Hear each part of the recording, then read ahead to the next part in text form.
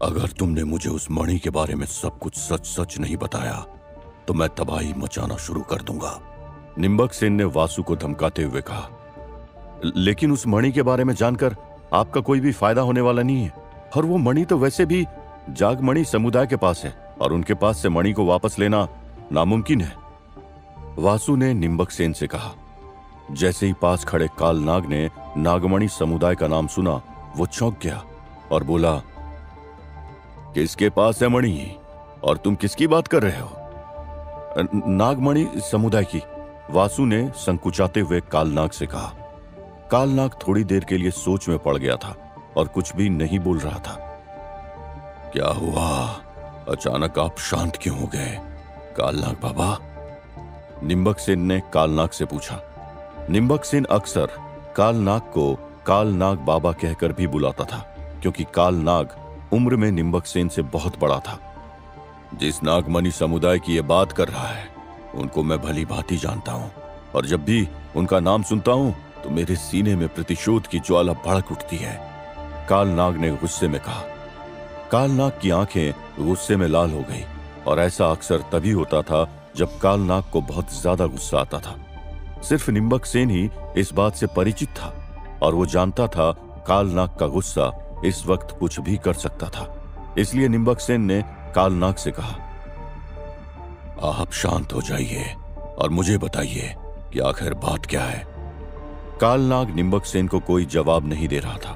तभी निम्बक सेन वासु पर चिल्लाते हुए बोला, अगर तुमने मुझे उस मणि के बारे में नहीं बताया तो मैं यहाँ मौजूद हर इंसान को एक एक करके मौत के घाट उतार दूँगा। निम्बक सेन ने गुस्से में वासु से कहा तुम ऐसा कुछ भी नहीं करोगे।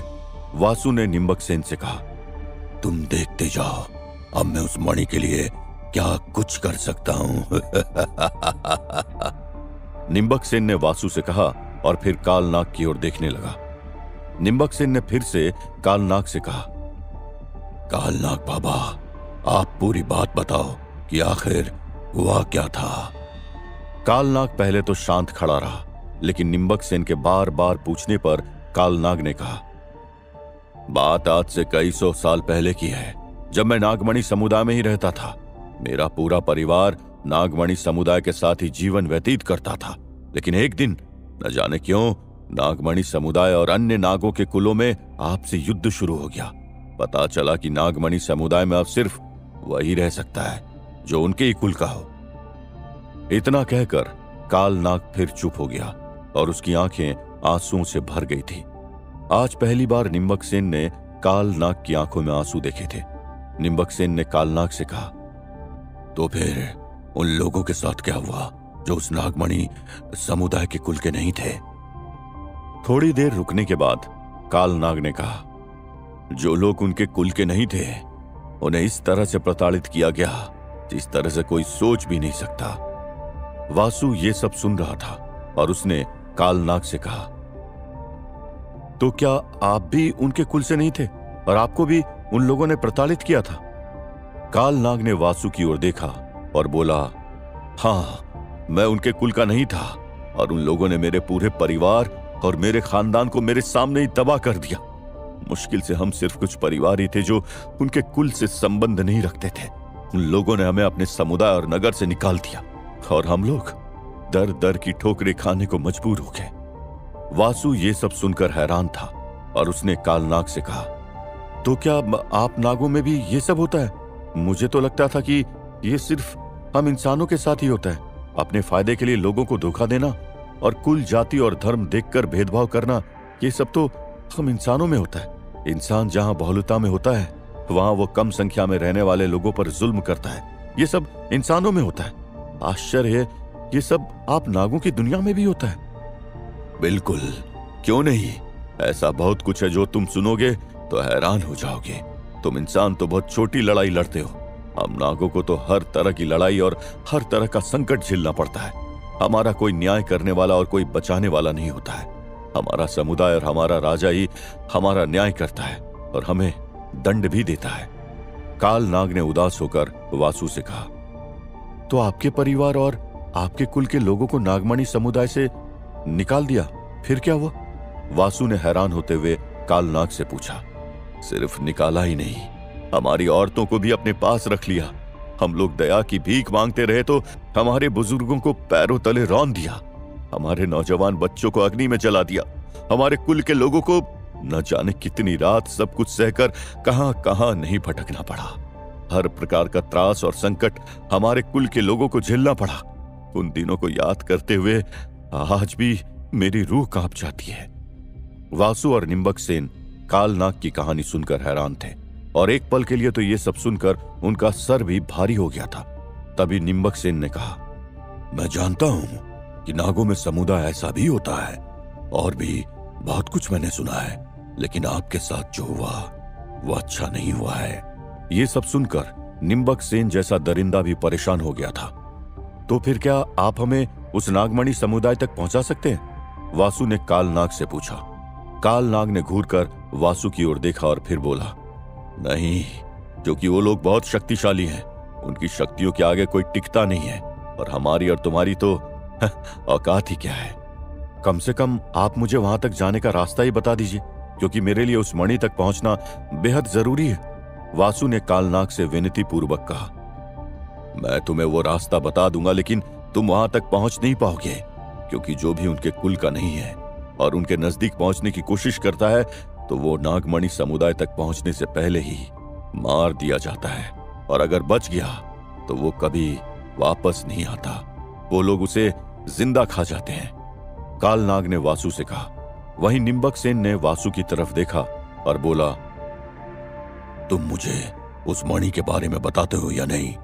आखिर उस मणि में ऐसा क्या है जो तुम उसके लिए इतना उत्साहित हो? वासु ने निम्बक सेन की बात का कोई जवाब नहीं दिया। क्या आपको उस मणि के बारे में कुछ भी पता है, कालनाग बाबा? निम्बक सेन ने कालनाग से पूछा, नहीं, मैं ऐसे किसी मणि के बारे में कुछ नहीं जानता हूँ। मेरे रहते हुए तो वहाँ पर ऐसी कोई मणि का ज़िक्र नहीं होता था। हाँ लेकिन एक मणि ज़रूर थी, पर वो तो इंसान के किसी काम की नहीं थी। वो मणि सिर्फ़ नागमणि समुदाय के राजा के पास ही रहती थी, और ना ही कोई और उस मणि को पा सकता था, और ना ही उस मणि का इस्तेमाल कर सकता था। कालनाग ने निम्बक सेन को बताया, ज़रूर ये वासु उसी मणि के पीछे पड़ा है, जो नागमणि समुदाय के राजा के पास रहती है, और ये वही हासिल करना चाहता है। निम्बक सेन ने मन ही मन में कहा। तभी कालनाग ने निम्बक सेन की ओर देखा और मुस्कुराते हुए बोला तुम उस मणि के बारे में इतना मत सोचो, क्योंकि वो मणि सिर्फ़ नागमणि समुदाय के लोग ही इस्तेमाल कर सकते थे। हाँ ये बात और है कि वो मणि बहुत ही ज़्यादा शक्तिशाली थी और वरदान स्वरूप नागमणि समुदाय के राजा को मिली थी। तुम्हारे और वासु के चाह लेने से वो तुम्हें नहीं मिल जाएगी। उस तक पहुँच पाना असंभव है। निम्बक सेन पर भी अब उस नागमणि को हासिल करने का भूत सवार हो गया था। वो कैसे भी करके वासु से पहले वो मणि हासिल करना चाहता था। आज से उस मणि के पीछे सिर्फ़ तुम ही नहीं, मैं भी हूँ, और हम में से वो मणि जिसको पहले मिल जाए, वो मणि उसकी हो जाएगी। निम्बक सेन ने वासु से कहा, वासु को समझ नहीं आ रहा था कि वो निम्बक सेन की बातों का क्या जवाब दे। वासु ने निम्बक सेन से कहा, लेकिन हमारे और तुम्हारे बीच बराबरी की जंग तो तब होगी ना, जब तुम मेरे हाथों को खोलोगे? वासु ने निम्बक सेन से कहा, मैं ज़रूर तुम्हें आज़ाद करूँगा, लेकिन अभी नहीं। पहले मैं अपने मकसद में कामयाब होना चाहता हूँ। जब मैं अपने मकसद को पूरा करके इस पृथ्वी पर राज करूँगा और पूरी पृथ्वी मेरे अधीन होगी, तब मैं तुम्हें आज़ाद करूँगा और उसके बाद मैं उस नागमणि समुदाय पर हमला करके उस नागमणि समुदाय को भी अपने नाम करूँगा और पृथ्वी के साथ ही साथ मेरा वर्चस्व उस नागमणि समुदाय पर भी होगा। निम्बक सेन ने उत्तेजित होकर कहा उधर राजकुमारी शालिनी ने एक खास लिपि में संदेश लिखकर तैयार कर लिया था। शक्ति ने राजकुमारी शालिनी से कहा, अब हम पूजा कब करेंगे? और कब इस लिपि का संदेश दैवीय शक्तियों तक पहुंचेगा? राजकुमारी शालिनी ने उस पत्थर पर खास लिपि में जो कुछ भी लिखा था, उस पत्थर के ऊपर लाल कपड़ा लपेट दिया और एक बड़े से पत्थर के सामने जाकर उस छोटे से पत्थर को रख दिया और बोली, बस, आज रात हमें यहाँ पूजा करनी होगी और यह ध्यान रखना होगा। कि पूजा खत्म होने से पहले तक गलती से भी ये लाल कपड़ा हटने ना पाए, क्योंकि अगर ये लाल कपड़ा हट गया तो फिर हमें दैवीय शक्तियों का संदेश नहीं मिल पाएगा। मैं इस पत्थर का ध्यान रखूँगी। अब आप जाकर कुछ देर के लिए आराम कर लीजिए, शक्ति ने राजकुमारी शालिनी से कहा। राजकुमारी शालिनी जाकर आराम करने लगी, और तभी जब वो गहरी नींद में सो रही थी, अचानक से उसकी आँख खुल गई, और वो ज़ोर ज़ोर से चिल्लाने लगी। क्या हुआ दीदी? शांत हो जाइए दीदी। शक्ति ने राजकुमारी शालिनी को संभालते हुए कहा। राजकुमारी शालिनी अभी भी उस सपने के कारण डरी हुई थी और उनसे कुछ भी नहीं बोला जा रहा था। शक्ति काफ़ी देर तक राजकुमारी शालिनी को संभालती रही और थोड़ी देर बाद राजकुमारी शालिनी ने शक्ति की ओर देखा और बोली, ज़रूर ज़रूर कुछ अशुभ होने वाला है। मैंने आज एक ऐसा स्वप्न देखा है जिसने मुझे हैरान कर दिया है और अगर जो मैंने सपने में देखा है ऐसा हुआ तो फिर कुछ भी नहीं बचेगा और सब कुछ नाश हो जाएगा। ऐसा क्या देख लिया आपने, दीदी? और और ऐसा क्या होने वाला है? शक्ति ने डरते हुए राजकुमारी शालिनी से पूछा मैंने देखा है कि किसी ने हमारी पूजा संपन्न होने से पहले ही आकर रोक दी है, और जिस कारण से हमें दैवीय शक्तियों का संदेश भी प्राप्त नहीं हुआ है, और निम्बक सेन ने भी इस पृथ्वी को जीतने के लिए शैतानी यज्ञ करना शुरू कर दिया है, और उसे अब यज्ञ से ऐसी शक्तियाँ मिलने वाली है जो उसे हमर बना सकती है। राजकुमारी शालिनी ने डरते हुए शक्ति को अपना सपना बताया। शक्ति भी काफ़ी ज़्यादा डर गई थी और बोली मतलब अब ये निम्बक सेन कभी मरेगा ही नहीं। और अगर आपका सपना सच हुआ तो सच में ये पृथ्वी खत्म हो जाएगी, दीदी। ये तो कुछ भी नहीं है। मैंने सपने में पूरी पृथ्वी पर ऐसे लोगों को देखा है जिनके शरीर पर एक भी कपड़ा नहीं है, जिनके हाथों में तलवार, भाले, त्रिशूल और नोकदार चिमटे हैं। इन लोगों के मुँह में खून लगा हुआ है और तो और किसी आदमी ने अपने हाथों में कटे हुए सिर पकड़ रखे हैं। तो कोई शरीर के धड़ को नोचने की कोशिश कर रहा है। और सपने में जो मैंने देखा, ये तभी होता है जब इतना कहकर डर के मारे राजकुमारी शालिनी रुक गई और उसने आगे कुछ नहीं बोला। ऐसा कब होता है दीदी? बोलिए, कुछ तो कहिए। राजकुमारी शालिनी शक्ति को कुछ भी बताने को तैयार नहीं थी और हड़बड़ाते हुए बोली, हमें जल्द से जल्द पूजा करनी होगी। अब सिर्फ़ दैवीय पूजा ही हमें बचा सकती है। अगर ये पूजा संपन्न नहीं हुई तो हमें आने वाले कई महीनों तक दैवीय शक्तियों का संदेश प्राप्त करने के लिए इंतज़ार करना होगा। सिर्फ़ हमारे पास आज की रात का ही वक्त है। क्या राजकुमारी शालिनी अपनी दैवीय पूजा में कामयाब होगी? क्या दैवीय शक्तियों के संदेश के बाद वासु गुफा से सबको आज़ाद करा लेगा? क्या राजकुमारी शालिनी का सपना सही हो जाएगा? राजकुमारी शालिनी के सपने के पीछे का सत्य क्या था? क्या होगा जब निम्बक सेन और वासु दोनों ही मणि के पीछे पड़ जाएँगे? जानने के लिए सुनते रहिए श्रापित राजकुमार सिर्फ़ पॉकेट एफ़ पार।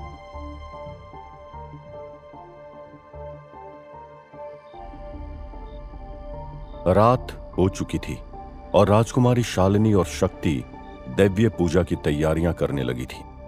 राजकुमारी शालिनी सपने की वजह से हड़बड़ाहट में थी और वो हर काम में जल्दबाजी कर रही थी। तभी शक्ति ने कहा, उस सपने को सपने की तरह भूल जाइए दीदी। वो सिर्फ़ एक सपना था और कुछ नहीं। नहीं, ऐसा नहीं है। उसे मैं भूल नहीं सकती। वो सपना नहीं, बल्कि संकेत है कि अगर पूजा पूरी नहीं हुई तो फिर सब पर संकट छा जाएगा। राजकुमारी शालिनी ने शक्ति से कहा। राजकुमारी शालिनी और शक्ति पूजा की तैयारियों में जुटी थी और उधर निम्बक सेन भी। अपना यज्ञ शुरू करने की तैयारी करने लगा था। निम्बक सेन काफ़ी काफ़ी ज़ोर ज़ोर से शैतानी मंत्रों का उच्चारण कर रहा था। आखिर ये अचानक इसे क्या हो गया? इतनी ज़ोर से मंत्र पढ़कर ये किसे बुलाना चाहता है? वासु ने मनी मन में कहा। निम्बक सेन आँख बंद करके आसुरी शक्तियों को बुला रहा था और तभी निम्बक सेन ने अचानक से अपनी आँख खोली और वासु को घूरने लगा। अब इसे क्या हो गया? ये मेरी तरफ़ क्यों देख रहा है? वासु ने डरते हुए फिर से मन में कहा। वासु को देखते हुए निम्बक सेन की आँख फटी की फटी थी और वो पलक भी नहीं चपक रहा था। उसकी आँख खून के समान लाल हो गई थी। निम्बक को देखकर वासु को कुछ समझ ही नहीं आ रहा था। कि क्या बात है निम्बक सेन? तुम इस तरह से मुझे घूर क्यों रहे हो? वासु ने निम्बक से पूछा। निम्बक सेन ने वासु की बात का कोई भी जवाब नहीं दिया और अचानक से ज़ोर ज़ोर से यज्ञ में आहुति देने लगा। देखते ही देखते जो भूत आसपास अदृश्य थे, वो सब प्रकट हो गए और काल नाग भी निम्बक से इनके सामने आ गया। तैयार हो जाओ सब लोग, लड़ने का वक्त आ गया है। निम्बक ने सबको आदेश देते हुए कहा, कुछ ही समय में गुफा में अफरा तफरी मच गई और वासु ये समझ ही नहीं पा रहा था कि आखिर ये हो क्या रहा है? और निम्बक सेन के चेहरे पर इतनी घबराहट क्यों है? थोड़ी देर बाद निम्बक सेन ने जब अपना यज्ञ पूरा कर लिया तो खड़ा हुआ और बोला, ये लड़का वासु हम सब के लिए परेशानियाँ लेकर आया है और इसके कारण अब तक के किए कराए पर पानी फिर सकता है। निम्बक सेन ने जैसे ही वासु की तरफ़ इशारा करते हुए बोला, तुरंत ही सारी ही दैत्य शक्तियाँ वासु की ओर घूर कर देखने लगी। आज की रात का समय काफ़ी भारी है। अगर आज की रात कट गई तब तो कई सालों तक कोई भी हमारा कुछ नहीं बिगाड़ पाएगा। लेकिन अगर आज की रात में कुछ भी गड़बड़ हुई तो फिर समझ लेना, तुम सब फिर से उसी नरक लोक में चले जाओगे। निम्बक सेन ने आसुरी शक्तियों को डराते हुए कहा, डर के मारे सारी आसुरी शक्तियाँ वासु पर एक साथ आक्रमण करना चाहती थी। तभी निम्बक सेन ने कहा, रुक जाओ, अगर तुमने ऐसा किया फिर तो घोर संकट हमारे ऊपर आ जाएगा। तुम सब ऐसा नहीं कर सकते। हम इसे जान से नहीं मार सकते हैं। आसुरी शक्तियाँ वासु को मार देना चाहती थी। वहीं वासु ने निम्बक सेन से कहा, आखिर अब क्या हुआ निम्बक सेन? और तुम इन लोगों को मेरे खिलाफ भड़का क्यों रहे हो? मैं इन्हें भड़का नहीं रहा हूँ, लेकिन मुझे यह संकेत मिला है कि तुम हमारे काल बनकर इस गुफा में आए हो और आज की रात बेहद कठिन है। आज कुछ ऐसा होने वाला है जिससे तुम मुझ पर विजय प्राप्त कर सकते हो। और मुझ पर विजय प्राप्त करने का मतलब है इन सभी आसुरी शक्तियों का अंत। निम्बक सेन ने वासु से कहा, ये सब नाटकबाजी बंद करो निम्बक सेन। तुमने मुझे बाँध कर रखा है और अब भला मैं तुम्हारा कैसे कुछ बिगाड़ सकता हूँ? वासु ने निम्बक सेन से घबराते हुए कहा इस वक्त गुफा में इतनी अफरा तफरी मची हुई थी कि हर कोई घबराया हुआ था। वहीं राजकुमारी शालिनी ने पूजा करनी शुरू कर दी थी। राजकुमारी शालिनी एक पत्थर को ही देवता मानकर पूजा कर रही थी। तभी शक्ति ने राजकुमारी शालिनी से कहा, आखिर हम किस देवता की पूजा कर रहे हैं, दीदी? हम शक्ति की पूजा कर रहे हैं। इस पत्थर में सभी देव सभाएँ हैं और कोई भी देवता इस पत्थर से अलग नहीं है। ये पत्थर इस गुफा में कब से है, कोई भी नहीं जानता है। लेकिन इस पत्थर के अंदर दैवीय शक्तियों का भंडार है। समय और उचित तरीके से अगर इस पत्थर को पूजा गया ना तो इंसान हर जंग जीत सकता है। राजकुमारी शालिनी ने शक्ति को बताया। राजकुमारी शालिनी पूजा कर रही थी और शक्ति उस पूजा में राजकुमारी शालिनी के साथ बैठी हुई लगातार उस पत्थर को घूरे जा रही थी। राजकुमारी शालिनी ने अपनी आँख बंद कर रखी थी। वहीं शक्ति अपनी आँखों से उस पत्थर को देखे जा रही थी। एक पल के लिए भी शक्ति की पलक झपक नहीं रही थी और देखते ही देखते पत्थर से एक रोशनी निकलनी शुरू हो गई थी। ये वो ऊर्जा थी जो पंद्रह साल की शक्ति को मिलने वाली थी। राजकुमारी शालिनी के पास बैठी शक्ति को उस पत्थर से ऊर्जा मिल रही थी, लेकिन राजकुमारी शालिनी को कोई होश नहीं था। उधर निम्बक सेन की घबराहट और भी बढ़ती जा रही थी और अचानक से उसने कहा, इस वासु को यहाँ से ले जाकर कहीं और रखो, क्योंकि अगर इसका और उसका मिलन हो गया तो फिर ये लोग हमको छोड़ेंगे नहीं। घबराते हुए निम्बक सेन ने कहा किसी को भी निम्बक सेन की कोई बात समझ नहीं आ रही थी या आखिर हो क्या रहा था? वहीं अचानक से वासु के बंधन खुल गए और वासु आज़ाद हो गया। जैसे ही वासु आज़ाद हुआ एक भूत ने वासु को पकड़ने की कोशिश की लेकिन तभी वासु ने अपनी मशाल उठाई और उसकी ओर ज़ोर से मारी। आ, अब बहुत हुआ। अगर मेरे पास भी आए तो सबको खत्म कर दूँगा। वासु ने गुस्से में कहा, उस मशाल की मार इतनी तेज थी कि वो भूत बहुत अधिक दूर जाकर गिर गया था। काल नाग ये देखकर हैरान था और बोला, निम्बक सेन, आखिर ये क्या है? ये वासु तो पहले से भी ज़्यादा शक्तिशाली हो गया है। अगर तुम्हें भागना है ना तो भाग जाओ कालनाग क्योंकि अब मेरे सामने जो भी आएगा ना, मैं उसे छोड़ूँगा नहीं। वासु ने गुस्से में कालनाग से कहा। तभी निम्बक सेन ने एक साथ कई भूतों से वासु पर आक्रमण करने को कहा। और जैसे ही उन्होंने आक्रमण किया, वासु ने फिर से अपनी मशाल से सबको मार दिया। जो भी वासु के सामने आ रहा था, वो पल भर के लिए भी टिक नहीं पा रहा था। हमें कुछ भी करके इस वासु को आज के लिए रोकना होगा और इसका शक्ति से मिलन नहीं होने देना होगा, क्योंकि अगर ये दोनों मिल गए तो फिर सब समाप्त हो जाएगा। निम्बक सेन ने कालनाग से विनती करते हुए कहा, क्या हुआ निम्बक सेन?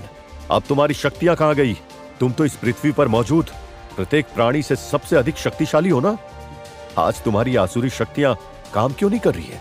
कहाँ गायब हो गई तुम्हारी ये शक्तियाँ? आज तुम्हारा अंत निश्चित है निम्बक सेन तुमने लोगों पर बहुत जुल्म कर लिया है, और अब उन सब का फल तुम्हें मिलेगा। वासु ने निम्बक सेन को चेतावनी देते हुए कहा। निम्बक सेन और काल नाग दोनों ही वासु की तरफ़ देख रहे थे। वासु काफ़ी ज़्यादा गुस्से में था। तभी कालनाग ने निम्बक सेन से कहा आखिर बात क्या है? ये तो बताओ, तुम इतने बेचैन से क्यों हो? जब मैं यज्ञ कर रहा था तो दैत्य शक्तियों ने मुझे एक संदेश दिया और बताया कि इस वासु को शक्तिशाली बनाने के लिए गुफा में कोई न कोई शक्ति आ गई है। उस शक्ति की कोई संरचना नहीं है और वो किसी भी रूप में इस वासु से मिल सकती है।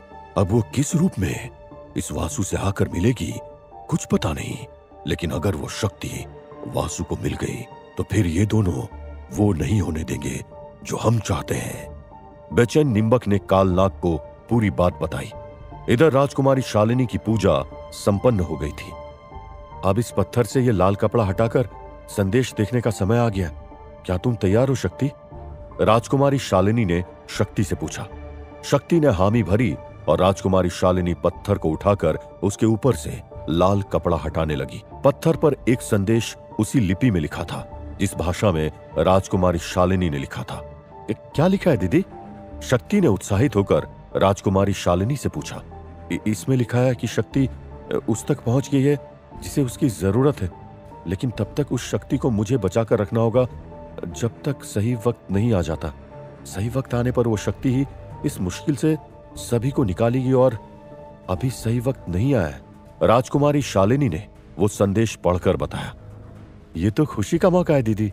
शक्ति ने मुस्कुराते हुए शालिनी से कहा, वहीं राजकुमारी शालिनी के चेहरे पर अभी भी शिकन की रेखाएँ थी और उसने बुदबुदाते हुए कहा, आखिर मैं इस शक्ति को संभाल कर कैसे रखूँगी? जब मुझे पता ही नहीं है कि आखिर शक्ति कहाँ है और किस रूप में है। राजकुमारी शालिनी चिंतित थी और वहीं शक्ति पास में बैठी मुस्कुरा रही थी और तभी शक्ति ने समझाते हुए राजकुमारी शालिनी से कहा, आप चिंता न करिए अगर ये संदेश मिल गया है तो उस शक्ति का पता भी चल जाएगा। उधर निम्बक सेन ने काल कालनाग से कहा, सभी दैत्य शक्तियाँ इस वासु से लड़ने में असफल हो गई है, और अब तो बस एक ही विकल्प है कि आप अपने नागास्त्र का उपयोग करें और इसे अपने पास में बाँध लें। निम्बक सेन काल नाग से विनती करने लगा। वहीं वासु इस समय तक हर किसी को समाप्त कर चुका था। कोई भी दैत्य शक्ति उसके सामने नहीं टिक पा रही थी। निम्बक सेन अगर तुमने जल्द से जल्द उन औरतों को अपनी कैद से नहीं छोड़ा तो मैं तुम्हें भी यही मार दूँगा। वासु ने निम्बक सेन को धमकी देते हुए कहा, इतना हवा में मत उड़ो वासु, क्योंकि अगर एक बार तुम मेरी पकड़ में आ गए तो इस बार तुम्हारे बचने का एक भी रास्ता मैं नहीं छोड़ूँगा। निम्बक सेन ने वासु से कहा, वासु ने निम्बक सेन की पूरी गुफा में तबाही मचा दी थी, कि तभी निम्बक सेन ने कालनाग से फिर नाग अस्त्र चलाने के लिए बोला। काफ़ी सोचने के बाद कालनाग निम्बक सेन की बात मान गया और उसने मंत्रों का उच्चारण करना शुरू कर दिया। जैसे जैसे कालनाग मंत्रों का उच्चारण कर रहा था, वासु की शक्तियाँ कम पड़ती जा रही थी। ये ये मुझे क्या हो रहा है? आखिर अचानक से ऐसा क्यों लग रहा है कि मेरे अंदर से ऊर्जा निकल रही है? मुझे अपने अंदर ही कुछ कमी सी महसूस क्यों हो रही है? वासु ने खुद से कहा मंत्रों का उच्चारण करके काल नाग ने देखते ही देखते अपने नागपाश में वासु को बाँध लिया और फिर काल नाग ने निम्बक सेन से कहा, मैंने तुम्हारे कहने पर यह किया है। अब अगर इसके कोई दुष्परिणाम होते हैं तो उसकी ज़िम्मेदारी सिर्फ़ तुम्हारी होगी। निम्बक सेन ने अपने मंत्रों से फिर से कुछ दैत्य शक्तियों को जन्म दिया और बोला, इस वासु को चारों तरफ़ से घेर लो, जिससे कोई भी इसके समीप न जा सके। एक छोटा सा जीव भी अगर इसके पास आता है तो उसे तुरंत मार देना। निम्बक सेन ने उन दैत्य शक्तियों का आदेश देकर फिर से मंत्रों का उच्चारण करना शुरू कर दिया। वासु खुद को छुड़ाने की कोशिश कर रहा था लेकिन नागपाश से निकल पाना मुश्किल ही नहीं नामुमकिन था। वासु ने तमाम कोशिशें की लेकिन कुछ भी नहीं हुआ और फिर वासु ने चिल्लाते हुए कहा आ, मुझे छोड़ दो निम्बक सेन। अगर तुम में हिम्मत है तो मुझसे लड़कर दिखा। यूँ मुझे बार बार बांधकर तुम सिर्फ़ अपनी कायरता का उदाहरण दे रहे हो। निम्बक सेन ने वासु की एक भी नहीं सुनी और मंत्रों का उच्चारण करता रहा। तभी कालनाग ने वासु से कहा आज शायद तुम्हें इस नागपाश में बांधकर मेरा बदला भी पूरा हो गया है। तुमने मेरे तमाम नागों को आग में जलाकर मार दिया था। जिस तरह से नागमणि समुदाय ने मेरे कुल के लोगों को मारा था, वैसे ही तुमने भी मेरे नागों को आग में जलाकर खत्म कर दिया था। और देखो, आज तुम ही मेरे कारण कैद में हो और तुम्हें निकलने का रास्ता भी नहीं मिल रहा है। कालनाग तुम ये गलत कर रहे हो। और आप और निम्बक सेन जो भी चाहते हैं, मैं वैसा नहीं होने दूँगा। वासु ने चिल्लाते हुए कहा, पहले पता तो कर लो कि आखिर निम्बक सेन चाहता क्या है?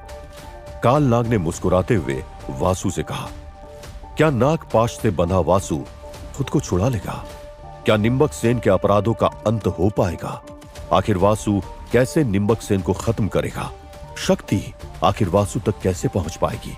या फिर निम्बक सेन फिर से जीत जाएगा। जानने के लिए सुनते रहिए श्रापित राजकुमार सिर्फ़ पॉकेट एफ़ पर।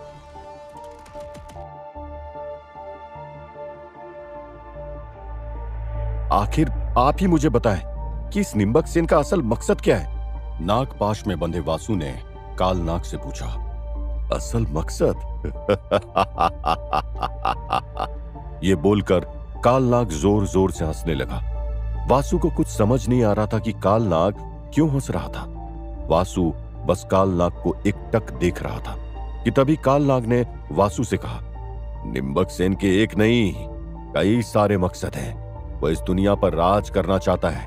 वो इस पृथ्वी का सबसे शक्तिशाली, बलशाली और प्रभुत्वशाली व्यक्ति बनना चाहता है। वो चाहता है जब वो खड़ा हो तो हर आदमी उसके सामने झुककर खड़ा हो। कोई भी उससे बड़ा ना हो और हर कोई उसी के आदेश का पालन करे। पूरी दुनिया उसी के इशारों पर चले और उसके आगे खड़े होने की किसी की भी हिम्मत ना हो। लेकिन ये कैसे संभव है? वो अकेला पूरी दुनिया पर राज कैसे कर सकता है? वासु ने कालनाग से कहा इसीलिए तो वो बड़े से बड़ा यज्ञ करके दैत्य और आसुरी शक्तियों को अपने कब्जे में करना चाहता है। वो अमरता का वरदान पाना चाहता है। वो दुनिया के हर व्यक्ति को काबू में करना चाहता है। और अगर निम्बक सेन इस पृथ्वी पर राज करने लगा तो जान लेना, इस दुनिया से अच्छाई और अच्छे लोग गायब हो जाएँगे। कालनाग ने वासु से कहा, लेकिन वो ऐसा क्यों करना चाहता है?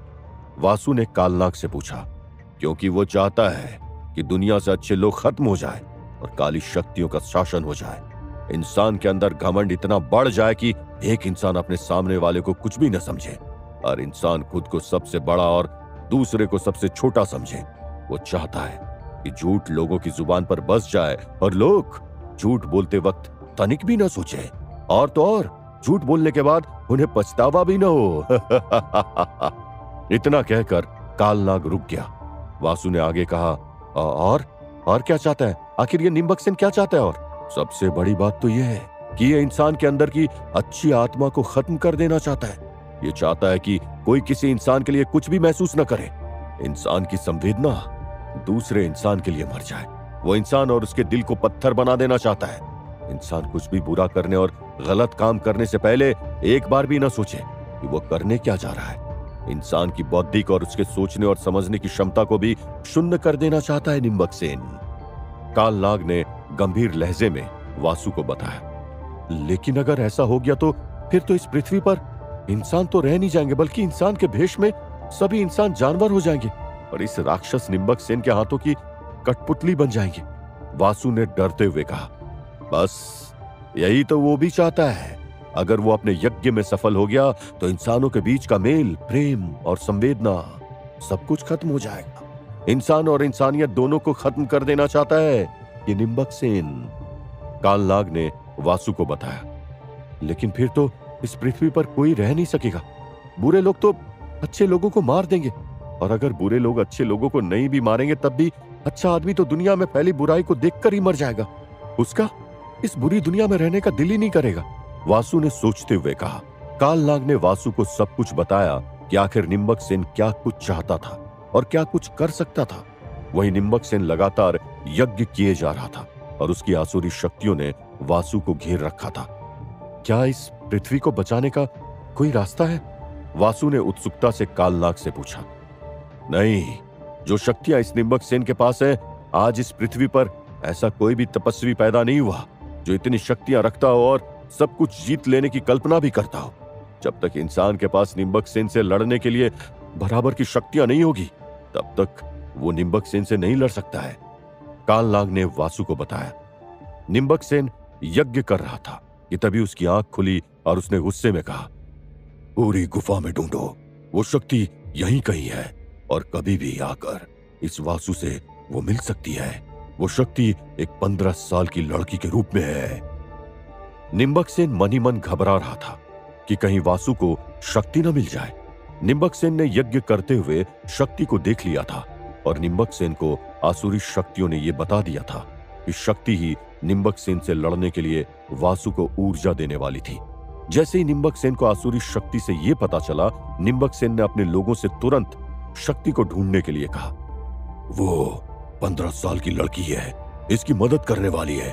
उसे लेकर आओ और मेरे सामने पेश करो। निम्बक सेन ने अपने भूतों को आदेश देते हुए कहा। पूरी गुफा में भूत उस लड़की की खोज में शोर करते हुए इधर से उधर ढूँढने लगे। राजकुमारी शालिनी ने जब ये देखा तो वो डर गई और शक्ति से बोली, बेटी, अब तुम उस गुफा में छुप जाओ, क्योंकि भले इंसान तुम्हें नहीं देख सकता, लेकिन लेकिन ये आसुरी शक्तियाँ ज़रूर तुम्हें पहचान लेगी। तुम अंदर उस गुप्त स्थान में जाकर बैठ जाओ, जहाँ पर तुम्हें कोई देख भी ना सके। शक्ति जाकर उस गुप्त स्थान में बैठ गई, लेकिन शक्ति जानती थी कि वहाँ भी आकर कोई न कोई उसे ढूंढ ही लेगा। हर तरफ़ भूत ही भूत थे। राजकुमारी शालिनी ने भी किसी तरह से खुद को छिपाया हुआ था। तभी एक भूत की नज़र शक्ति पर पड़ गई। निकल, बाहर निकल, तू है वो लड़की जो मेरे गुरु के काम में बाधा बनने वाली है। उस भूत ने शक्ति को खींचते हुए कहा, मुझे मत ले जाओ। दीदी, बचाओ। मैंने कुछ नहीं किया। मैं तो कुछ जानती भी नहीं हूँ। दीदी दीदी। शक्ति ने उन भूतों से तेज आवाज़ में कहा और राजकुमारी शालिनी को बुलाने लगी।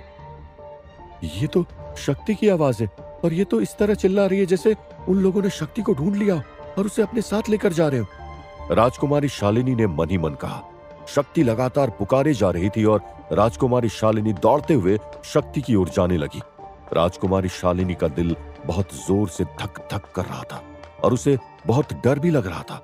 जैसे ही राजकुमारी शालिनी उस गुप्त स्थान पर पहुँची, तब तक उन्होंने देखा कि एक भूत शक्ति को अपने साथ ले जा रहा था।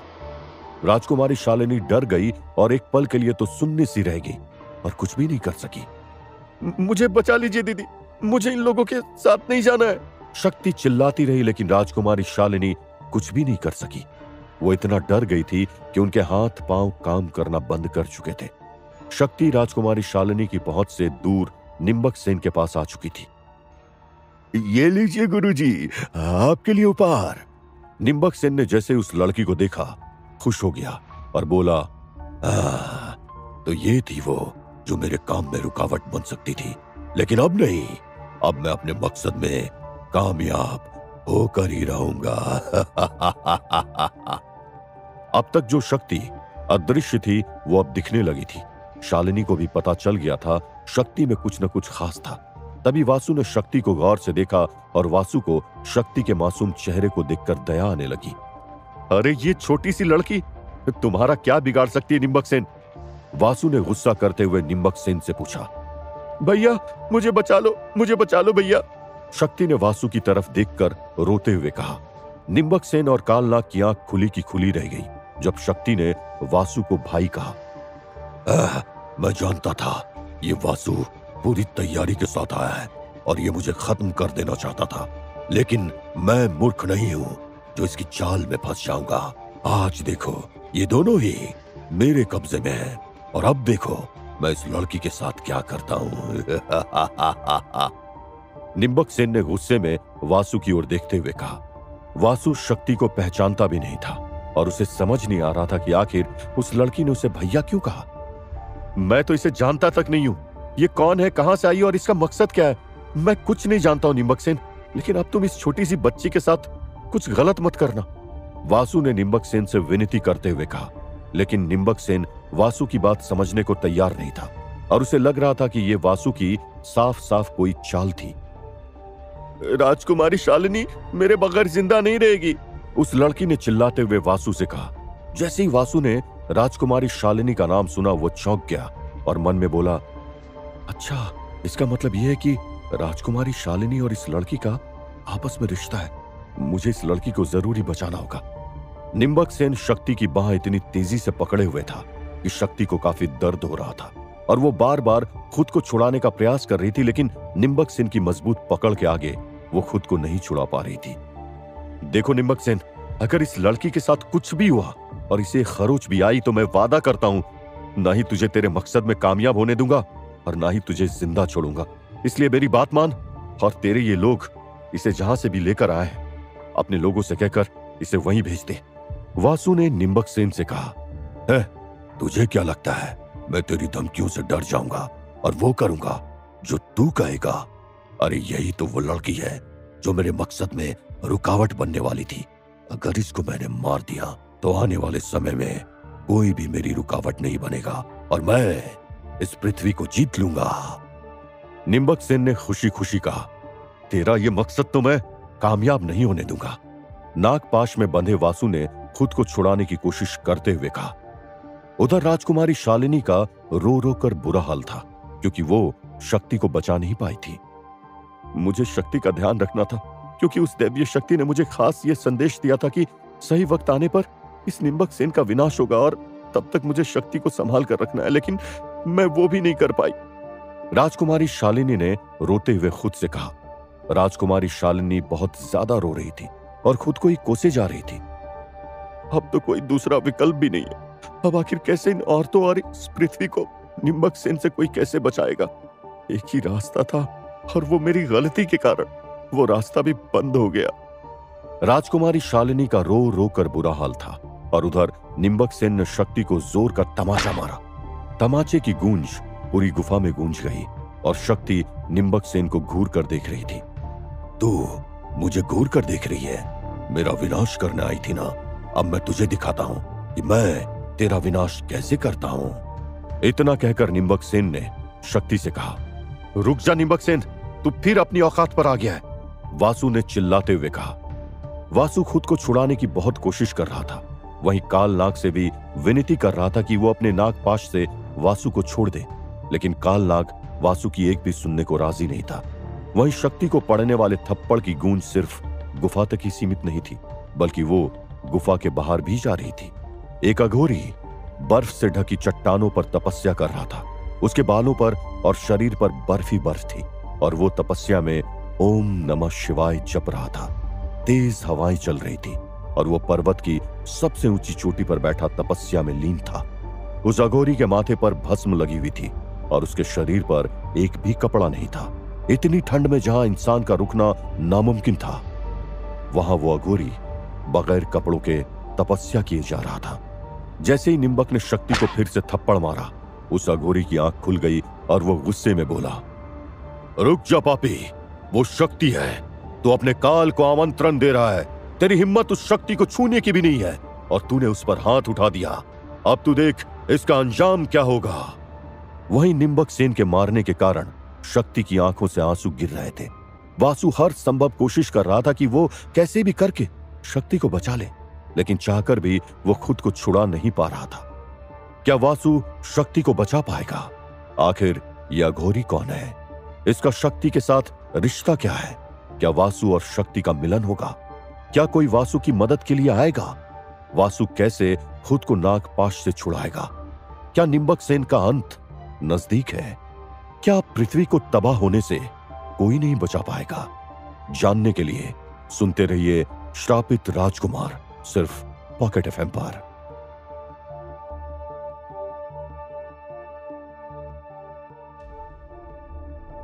मैंने पूरे विश्व को काबू करने के लिए कितनी घोर तपस्या करी है। तुझे कुछ पता भी है? निम्बक ने शक्ति से कहा, शक्ति की बाह निम्बक कसकर पकड़े हुए था, जिस कारण शक्ति को बेनतहा दर्द हो रहा था, और वो निम्बक से खुद को बचाने की गुहार लगा रही थी। मैं तुम्हारे सामने हाथ जोड़ता हूँ, निम्बक सेन। उस बच्ची को छोड़ दो।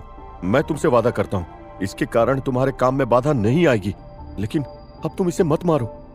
वासु ने विनती करते हुए निम्बक सेन से कहा, लेकिन निम्बक सेन इस वक्त किसी की भी सुनने को राज़ी ही नहीं था। उसे बस इतना पता था कि वो लड़की निम्बक सेन के लिए सबसे बड़ा खतरा थी और अब उस लड़की के कैद हो जाने से वो खतरा टल गया था।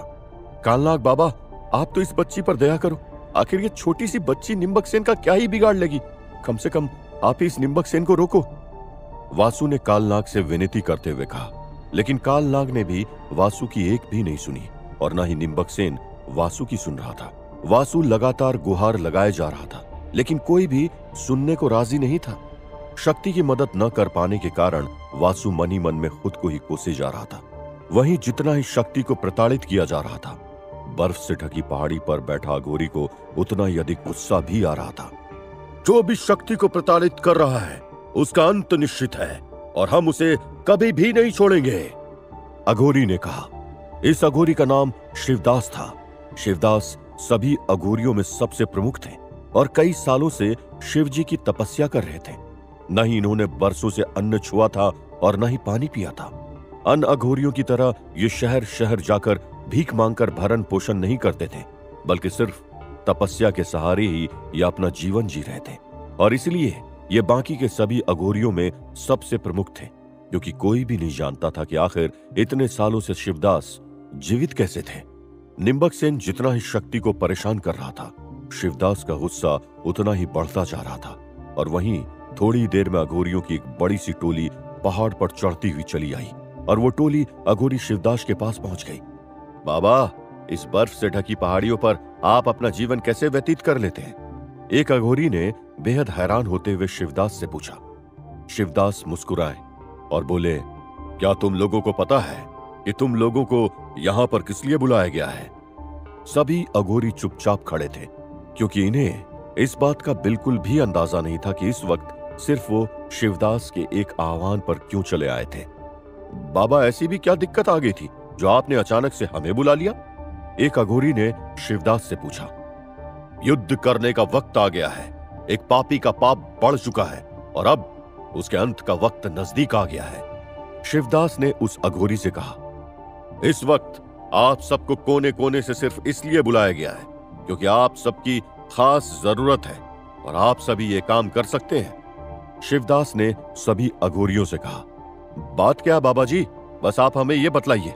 हम सब आपके लिए जान देने के लिए भी तैयार हैं। अघोरियों ने कहा पास की एक गुफा में निम्बक से नाम का एक दुष्ट काफ़ी समय से आसुरी शक्तियों को खुश करने की कोशिश कर रहा है। वही आसुरी शक्तियों को खुश करके उन्हें अपने अधीन करना चाहता है और फिर पूरे विश्व पर राज करना चाहता है वो। शिवदास ने अघोरियों को बताया। ये सुनकर अघोरी एक दूसरे की तरफ़ देखने लगे और एक अघोरी हैरान होते हुए बोला तो क्या उसे लगता है कि दैवीय शक्तियाँ उसे विश्व को जीतने देगी? दैवीय शक्तियों के सामने आसुरी शक्तियों की क्या बिसात है? एक न एक दिन आसुरी शक्तियों की हार होना निश्चित ही है, लेकिन दिक्कत ये नहीं है। असल में तुम लोगों को बुलाने के पीछे का कारण कुछ और ही है। शिवदास ने सभी की ओर देखते हुए कहा। हर कोई फिर से एक दूसरे की ओर देखने लगा। हर कोई यह भी जानता था कि कोई न कोई बहुत बड़ा काम है, जिसके कारण ही शिवदास ने इतनी संख्या में अघोरियों को बुलाया है।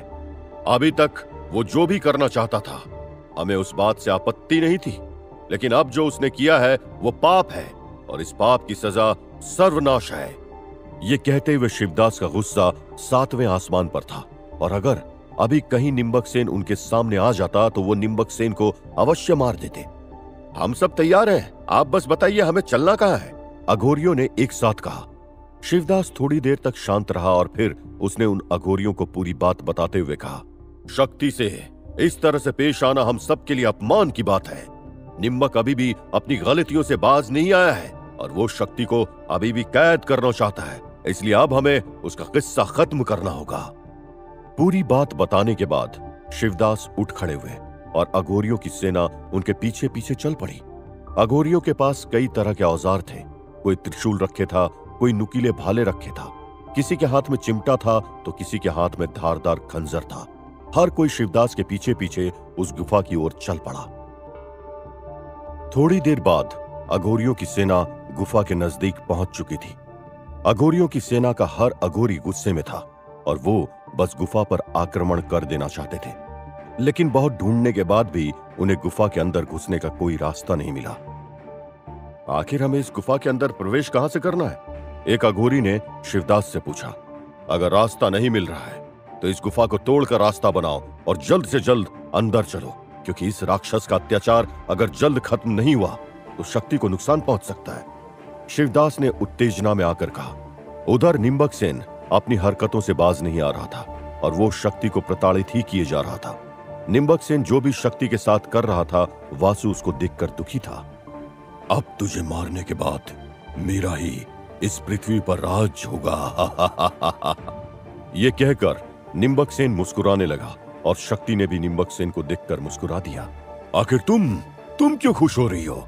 मेरी जीत की खुशी में तुम्हारा खुश होना कुछ अशुभ संकेत कर रहा है। निम्बक सेन ने गुस्से में शक्ति से कहा, तेरा अंत बहुत नज़दीक आ गया है। तू क्या समझता है? तेरे पाप का घड़ा भरने के बाद भी तुझे छोड़ दिया जाएगा। तुम गलत फहमी में हो निम्बक सेन क्योंकि पाप का फल निश्चित समय और दिशा का इंतज़ार नहीं करता है। वो किधर से भी मिल सकता है? शक्ति ने निम्बक सेन को चेतावनी देते हुए कहा।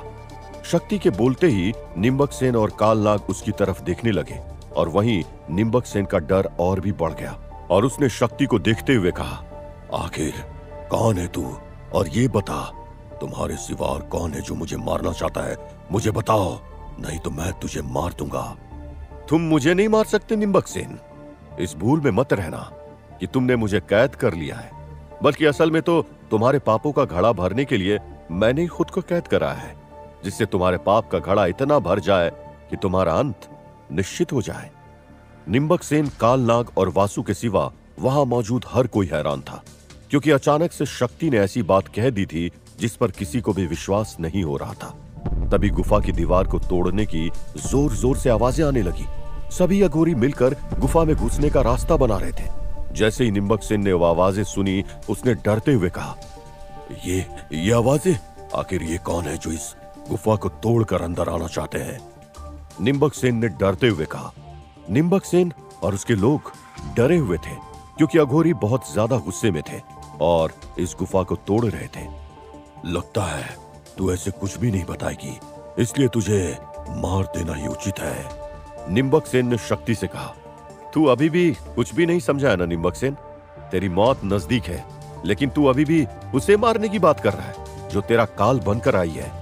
वासु ने गुस्से में निम्बक सेन से कहा, हर कोई हैरान था और देखते ही देखते अघोरियों की टोली निम्बक सेन की गुफा में घुस गई। हर तरफ़ ओम नमः शिवाय और हर हर महादेव के जयकारे गूंज रहे थे और उन अघोरियों ने ऐसे हमला किया था, जैसे वो निम्बक सेन को कच्चा ही चबा जाते ये ये कौन सी नई बला है? और आखिर इन लोगों को किसने खबर दी है? इस गुफा की।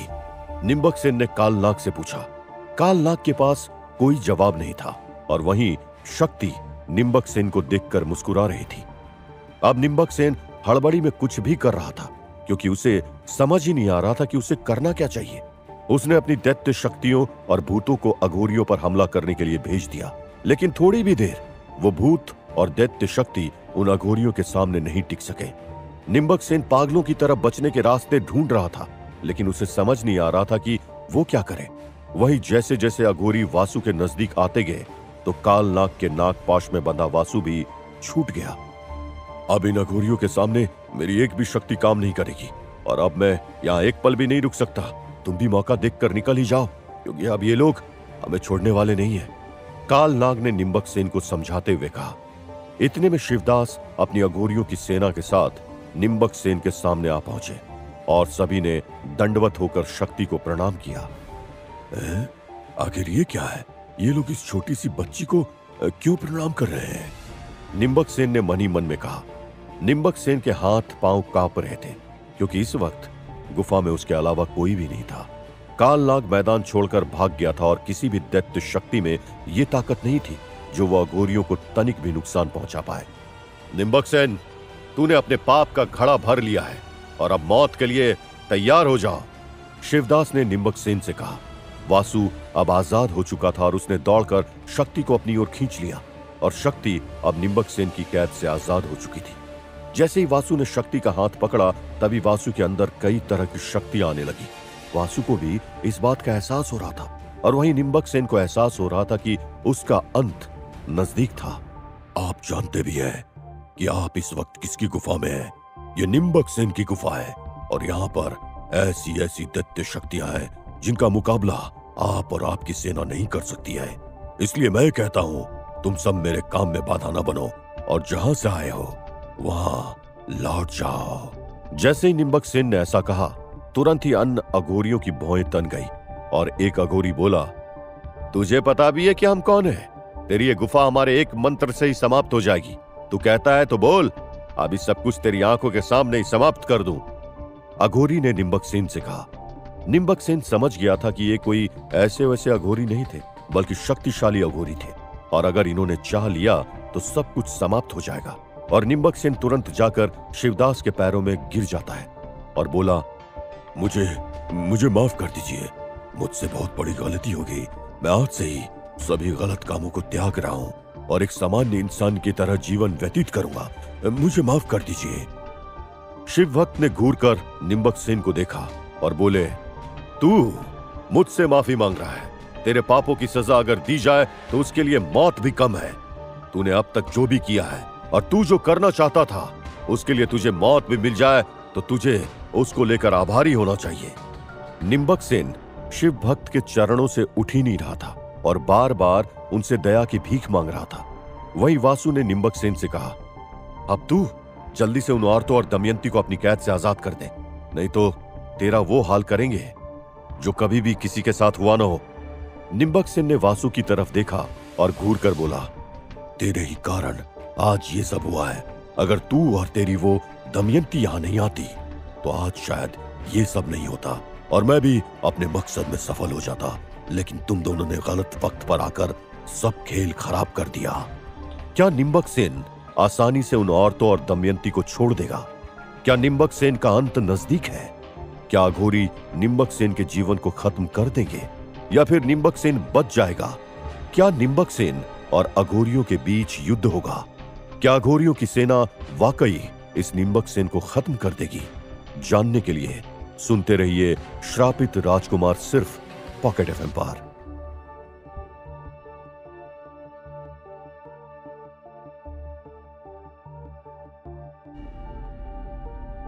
निम्बक सेन को वासु पर बहुत ज़्यादा गुस्सा आ रहा था, क्योंकि उसे लग रहा था कि वासु के कारण ही आज उसकी यह हालत हुई थी। मैं जो चाहता था, वो नहीं पा सका तो मैं तुम्हें भी वो पाने नहीं दूँगा जो तू चाहता है। तेरे लिए वो मणि पाना सबसे ज़रूरी है ना। अब तू देख, तू जब उस मणि के बिल्कुल करीब पहुंचेगा, तब भी तुझे मणि हासिल नहीं होगी। तू ताउम्र उस मणि के लिए भटकता रहेगा, लेकिन मैं वो मणि तुझे हासिल नहीं करने दूँगा। निम्बक सेन ने गुस्से में वासु से कहा, तू चाहे कितनी भी कोशिश कर ले निम्बक सेन, लेकिन अंत में जीत सत्य और धर्म की होती है।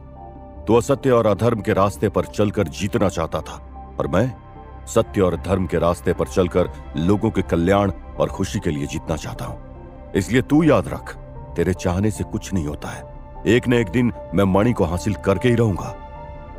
वासु ने निम्बक सेन को घूर कर समझाते हुए कहा, नहीं नहीं नहीं, तू कभी उस मणि को हासिल नहीं कर पाएगा। मैं तेरे रास्ते में इतने दुश्मन लाकर खड़ा कर दूँगा, जिनसे लड़ते लड़ते तेरी उम्र बीत जाएगी। लेकिन तू मणि तक नहीं पहुंचेगा। तू अभी मेरी शक्तियों को जानता नहीं है। अगर मैंने एक बार किसी बात का निर्णय ले लिया तो फिर उस निर्णय को कोई भी नहीं बदल सकता है। तो सुन ले, अब मैं प्रतिज्ञा करता हूँ कि जिस तरह मैं तेरे कारण अपने मकसद में नाकामयाब होकर तड़प रहा हूँ, उसी तरह तू भी अपने लक्ष्य तक न पहुंचकर तड़पेगा। निम्बक ने वासु से कहा। वासु मुस्कुरा रहा था और उसे लगता था कि निम्बक सेन के चाह लेने से और प्रतिज्ञा कर लेने से क्या होता है? वासु ने निम्बक सेन की ओर देखकर मुस्कुराते हुए कहा, लगता है निम्बक सेन, अभी भी तुम्हें बुद्धि आई नहीं है। तुम अभी भी इस बात से अनजान हो कि सिर्फ़ तुम्हारे चाह लेने से कुछ नहीं होगा।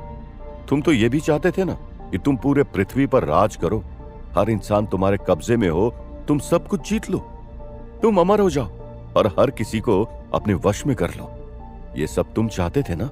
आज देखो, तुम कुछ भी नहीं पा सके। तुम एक बात तो समझ लो, सब कुछ तुम्हारे चाह लेने से नहीं होता है। इस पृथ्वी को अपने अनुसार चलाना चाहते थे ना? लेकिन आज देखो, तुम वहीं खड़े हो जहाँ तुम पहले खड़े थे। वासु की बात सुनकर निम्बक सेन ने गुस्से में अपना मुँह फेर लिया। तुमने कितनी कोशिशें की, कितनी असुरी शक्तियों को वश में किया। सब कुछ हासिल करने के लिए क्या कुछ नहीं किया तुमने? लेकिन जानते हो, तुम्हें क्यों कुछ नहीं मिला? क्योंकि तुम्हारे अंदर पाप था। तुम अपने आगे लोगों की ना ही सुन रहे थे और ना ही उनकी भलाई देख रहे थे। जब इंसान सिर्फ़ अपने बारे में सोचता है और दूसरे लोगों के लिए सिर्फ़ बुरा सोचता है तो सबसे बुरा उस इंसान के साथ ही होता है, जो दूसरों के लिए खाई खोदता है। और इस बात के सबसे सही उदाहरण तुम ही हो। आज तुमने अपना सब कुछ खो दिया, निम्बक सेन। वासु ने निम्बक सेन को ताने मारते हुए कहा। निम्बक सेन जान चुका था इन अघोरियों के आगे अब उसकी एक भी चलने वाली नहीं थी। लेकिन फिर भी, अभी तक निम्बक ने उन औरतों और दमयंती को आज़ाद नहीं किया था। निम्बक सेन, अभी भी वक्त है। बता दो कि दमयंती कहाँ पर है? वासु ने तेज आवाज़ में निम्बक सेन से पूछा। निम्बक सेन मुड़ा और एक अजीब सी हँसी हँसते हुए बोला दमयंती दमयंती है निम्बक सेन बार बार दमयंती का नाम ले रहा था। और हंस रहा था। पास खड़े अघोरी और शक्ति ये सब कुछ देख रहे थे। वासु निम्बक सेन की हँसी से डर रहा था और डरते हुए बोला, निम्बक सेन, दमयंती कहाँ है? हंसना बंद करो और मुझे बताओ कि दमयंती कहाँ पे निम्बक सेन हंसता ही जा रहा था और चुप होने का नाम ही नहीं ले रहा था। वासु के कई बार पूछने के बाद निम्बक सेन बोला, तड़प रहे हो ना। दर्द हो रहा है ना? जो चाहते थे, जब वो नहीं मिलता है तो उसका दर्द, उसकी तड़प और कैसी उलझन कैसी होती है? समझ आ रहा है ना? तुम्हारे कारण मैं भी ये दर्द, ये उलझन, ये तड़प झेल रहा हूँ। और अब मैं तुम्हें भी कभी खुश होने नहीं दूँगा। तुम जिस चीज़ को चाहोगे, वो मैं तुमसे छीन लूँगा। जो तुम्हें सबसे प्यारी होगी, उसे तुमसे दूर कर दूँगा। और तुम ऐसे ही तड़पोगे जैसे मैं तड़प रहा हूँ। निम्बक सेन का गुस्सा अपने चरम पर था। तभी शिवदास ने कहा, लगता है तू ऐसे नहीं मानेगा। और तुझे हमारा गुस्सा देखना ही है। लेकिन ये बात याद रख निम्बक सेन, अगर मेरा क्रोध बढ़ गया तो तुझे इस जन्म के साथ साथ अगले कई जन्म तक हमारे प्रकोप का सामना करना पड़ेगा। अब तो मौत करीबी है। अब किस बात का डर? मैं निम्बक सेन, दैत्य और तमाम आसुरी शक्तियों पर मेरा राज है। मैं ब्रह्मांड को भी हिला सकता हूँ और मेरी तमाम मासूरी शक्तियों को ब्रह्मा, विष्णु और महेश से वरदान प्राप्त है और ये सारी दैत्य शक्तियाँ मेरे कब्जे में है। अभी तो तुम सबने मेरी शक्तियों का सिर्फ़ नमूना ही देखा है। अब मैं तुम्हें दिखाऊँगा कि असल में मैं क्या हूँ। निम्बक सेन ने गुस्से में कहा और यज्ञ के पास बैठकर शैतानी मंत्रों का उच्चारण करने लगा। वासु ये देखकर हैरान था, क्योंकि वो नहीं चाहता था कि फिर से निम्बक सेन कुछ दैत्यों को प्रकट करे और फिर से लड़ाई मैं आप सब अघोरी बाबा को प्रणाम करता हूँ। आप सब हमें बचाने के लिए आए, इसके लिए मैं आप सबका आभारी हूँ। लेकिन अब अगर इस निम्बक सेन के पापों की सजा देने में हमने देरी कर दी तो फिर ये निम्बक सेन फिर से कोई न कोई अपना रंग दिखा देगा। आप सब मार्गदर्शन करें। वासु ने विनती करते हुए अघोरियों से कहा शिवदास का गुस्सा चरम पर था। उनकी आँखें लाल थी और उनके चेहरे पर लगी भस्म। किसी को भी डरा सकती थी। हम सब तुम्हें बचाने के लिए नहीं, बल्कि शक्ति के लिए आए हैं। शक्ति हमारे लिए आराध्य है। और अगर कोई हमारी शक्ति का अहित चाहेगा तो हम उस व्यक्ति को नहीं छोड़ेंगे। शिवदास ने गुस्से में कहा। पास खड़ी शक्ति सब कुछ सुनकर मुस्कुरा रही थी और वही वासु को शिवदास की कोई भी बात समझ ही नहीं आ रही थी। लगता है तुम्हारा भ्रम अभी तक दूर नहीं हुआ है, वासु। शक्ति ने वासु से कहा, मैं कुछ भी समझ नहीं पा रहा हूँ। मुझे यह सब कुछ बड़ा ही अजीब सा लग रहा है। वासु ने शक्ति की तरफ़ देखकर मुस्कुराते हुए कहा, निम्बक सेन इस वक्त मंत्रों से दैत्य शक्तियों का आह्वान करने में लगा हुआ था, और कोई भी अगोरी इस वक्त उसे रोक नहीं सकता था, क्योंकि इससे यज्ञ देव का अपमान होता, और फिर उस अघोरी की अब तक की की हुई सारी तपस्या बेकार चली जाती। इसलिए सभी निम्बक सेन के यज्ञ पूजन के खत्म होने का इंतज़ार कर रहे थे। शक्ति ने निम्बक सेन की ओर देखा और फिर वासु से बोली, ये सत्य मैं सिर्फ़ तुम्हें बताना चाहती हूँ। और याद रहे, इस बारे में तुम किसी को भी नहीं बताओगे। अगर तुमने इस सत्य को किसी से बताया तो वो दिव्य शक्तियों का अपमान होगा। और एक बार दिव्य शक्तियाँ तुमसे रूट गई तो फिर तुम्हारी ज़िंदगी में कष्ट के सिवाय कुछ भी नहीं बचेगा। और तुम्हारी ज़िंदगी से रस गायब हो जाएगा। वासु सत्य को सुनने के लिए बेताब था और वो जानना चाहता था कि आखिर ऐसा कौन सा सत्य था जो शक्ति उसे बताना चाहती थी। वासु पहले ही शक्ति और अघोरियों के बीच भक्त और भगवान का रिश्ता देखकर परेशान था। आप जो भी बताएँगी, मैं उसका ज़िक्र कभी भी कहीं भी नहीं करूँगा। वासु ने शक्ति को विश्वास दिलाते हुए कहा तो फिर सुनो। शक्ति वासु से बोली इस सृष्टि को कई प्रकार की शक्तियाँ मिलकर चलाती है।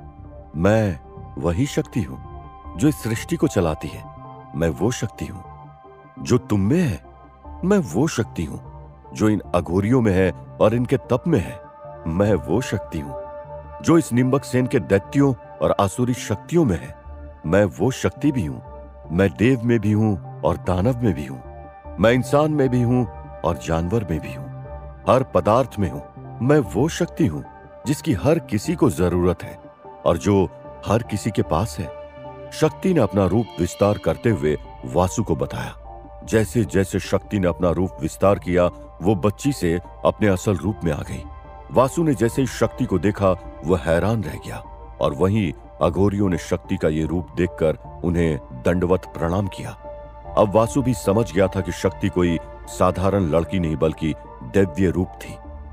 सभी लोगों ने शक्ति को प्रणाम किया और शक्ति ने वासु की तरफ़ मुस्कुराते हुए देखकर कहा, याद रखना, मैं सिर्फ़ शक्ति हूँ, कोई देवी नहीं।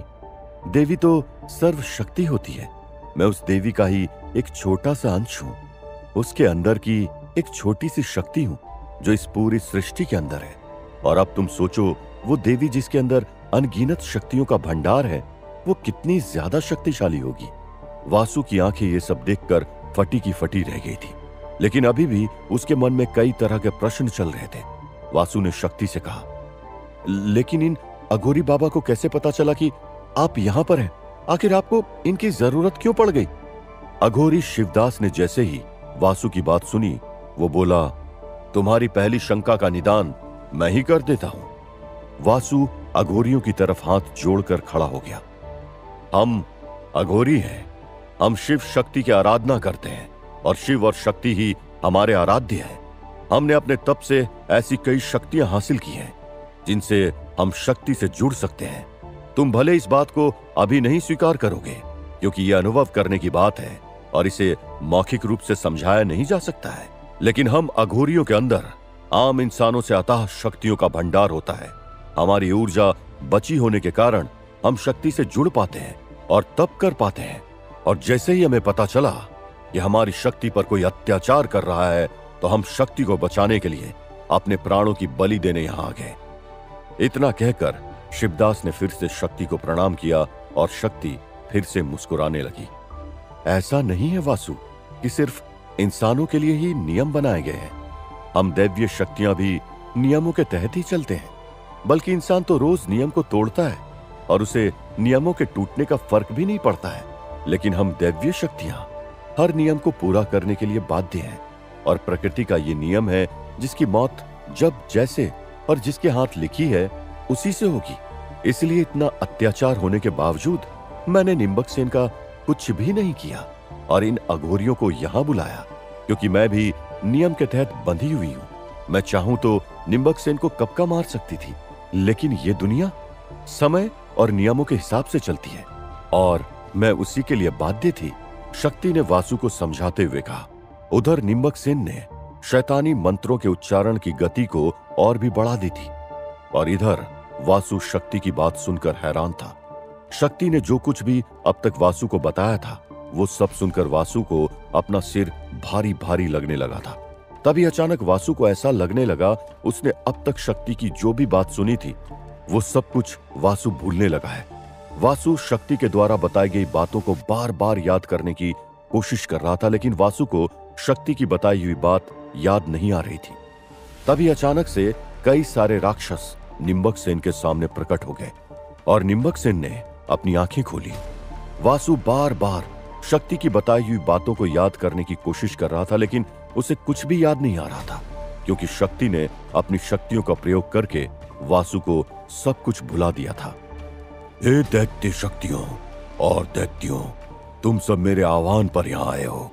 अब तुम सबको मेरे अनुसार ही कार्य करना होगा और इन सब अघोरियों को जल्द से जल्द खत्म करना होगा। निम्बक सेन ने दैत्यों को आदेश देते हुए कहा, जैसे ही निम्बक सेन ने दैत्यों को आदेश दिया, वो अघोरियों पर हमला करने के लिए तैयार हो गए। वहीं शिवदास ने निम्बक सेन से कहा, निम्बक सेन अभी भी वक्त है समझ जाओ। हम तुम्हें अंतिम चेतावनी देते हैं।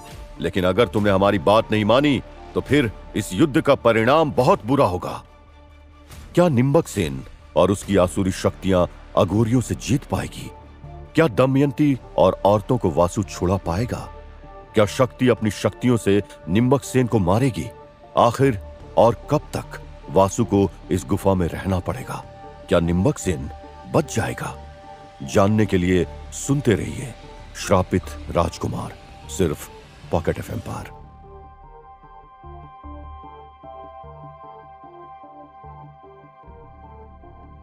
शिवदास ने निम्बक सेन को चेतावनी दे दी थी लेकिन निम्बक सेन मानने वालों में से नहीं था आपको मेरे भले और बुरे की चिंता करने की कोई ज़रूरत नहीं है अब तो आप सब बस अपनी चिंता करो क्योंकि इन आसुरी शक्तियों का मुकाबला कोई भी नहीं कर सकता है निम्बक सेन ने गुस्से में कहा शिवदास और सारे ही अघोरी निम्बक की बात सुनकर हंसने लगे और एक अघोरी बोला तो इन आसुरी शक्तियों से हमें डरा रहा है। तुझे पता भी है कि हम लोग रोज ऐसी आसुरी शक्तियों से खेलते हैं और इन शक्तियों में इतना दम नहीं है जो हम अघोरी को मार सके।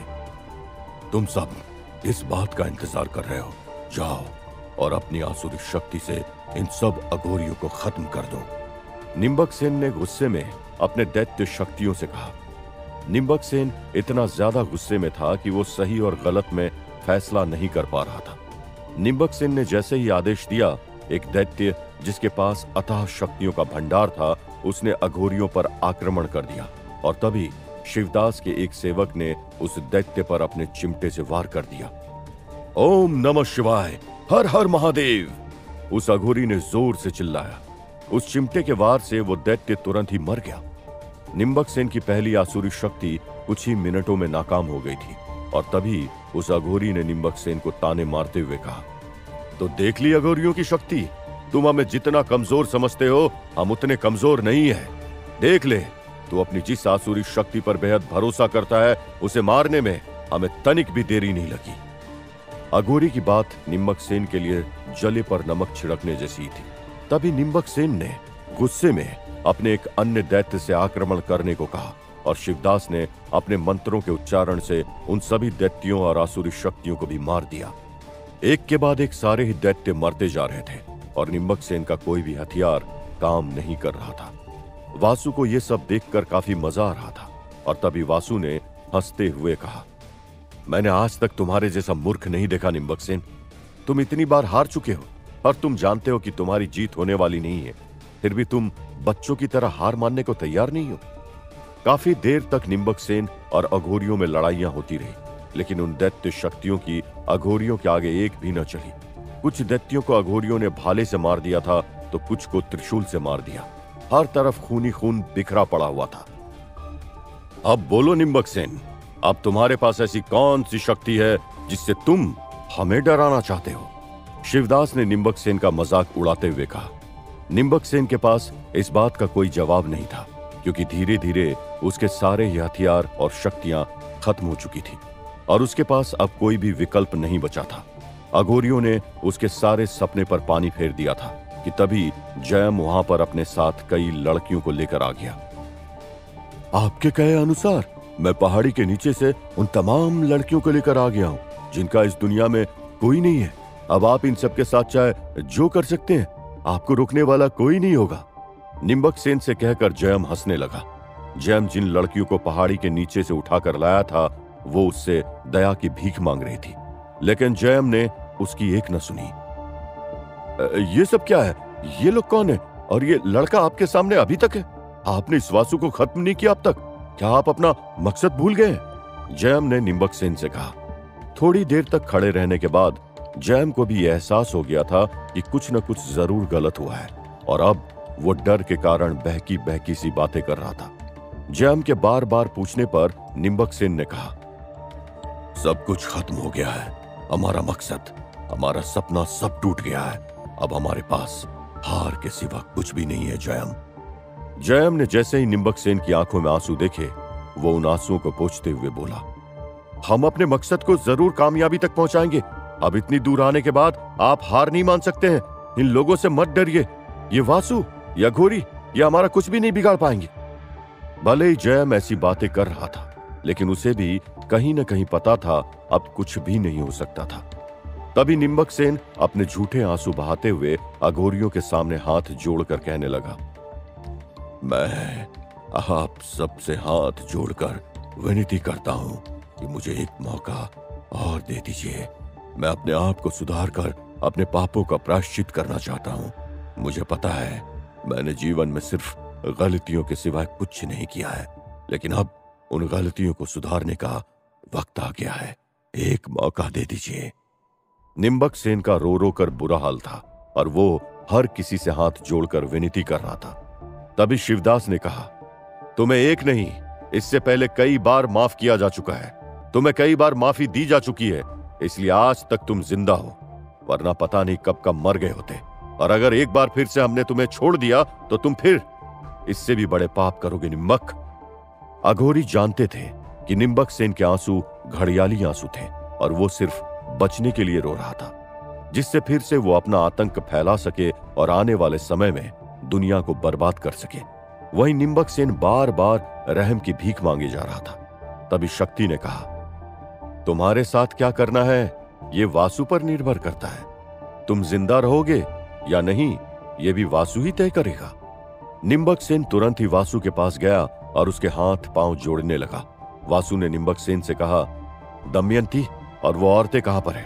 अब तो उन औरतों को छोड़ दो। निम्बक सेन कुछ देर तक सोचता रहा और फिर बोला, ठीक है, मैं उन्हें लेकर आता हूँ, लेकिन तुम मुझसे वादा करो कि तुम मुझे मारोगे नहीं। मैं मैं मरना नहीं चाहता हूँ।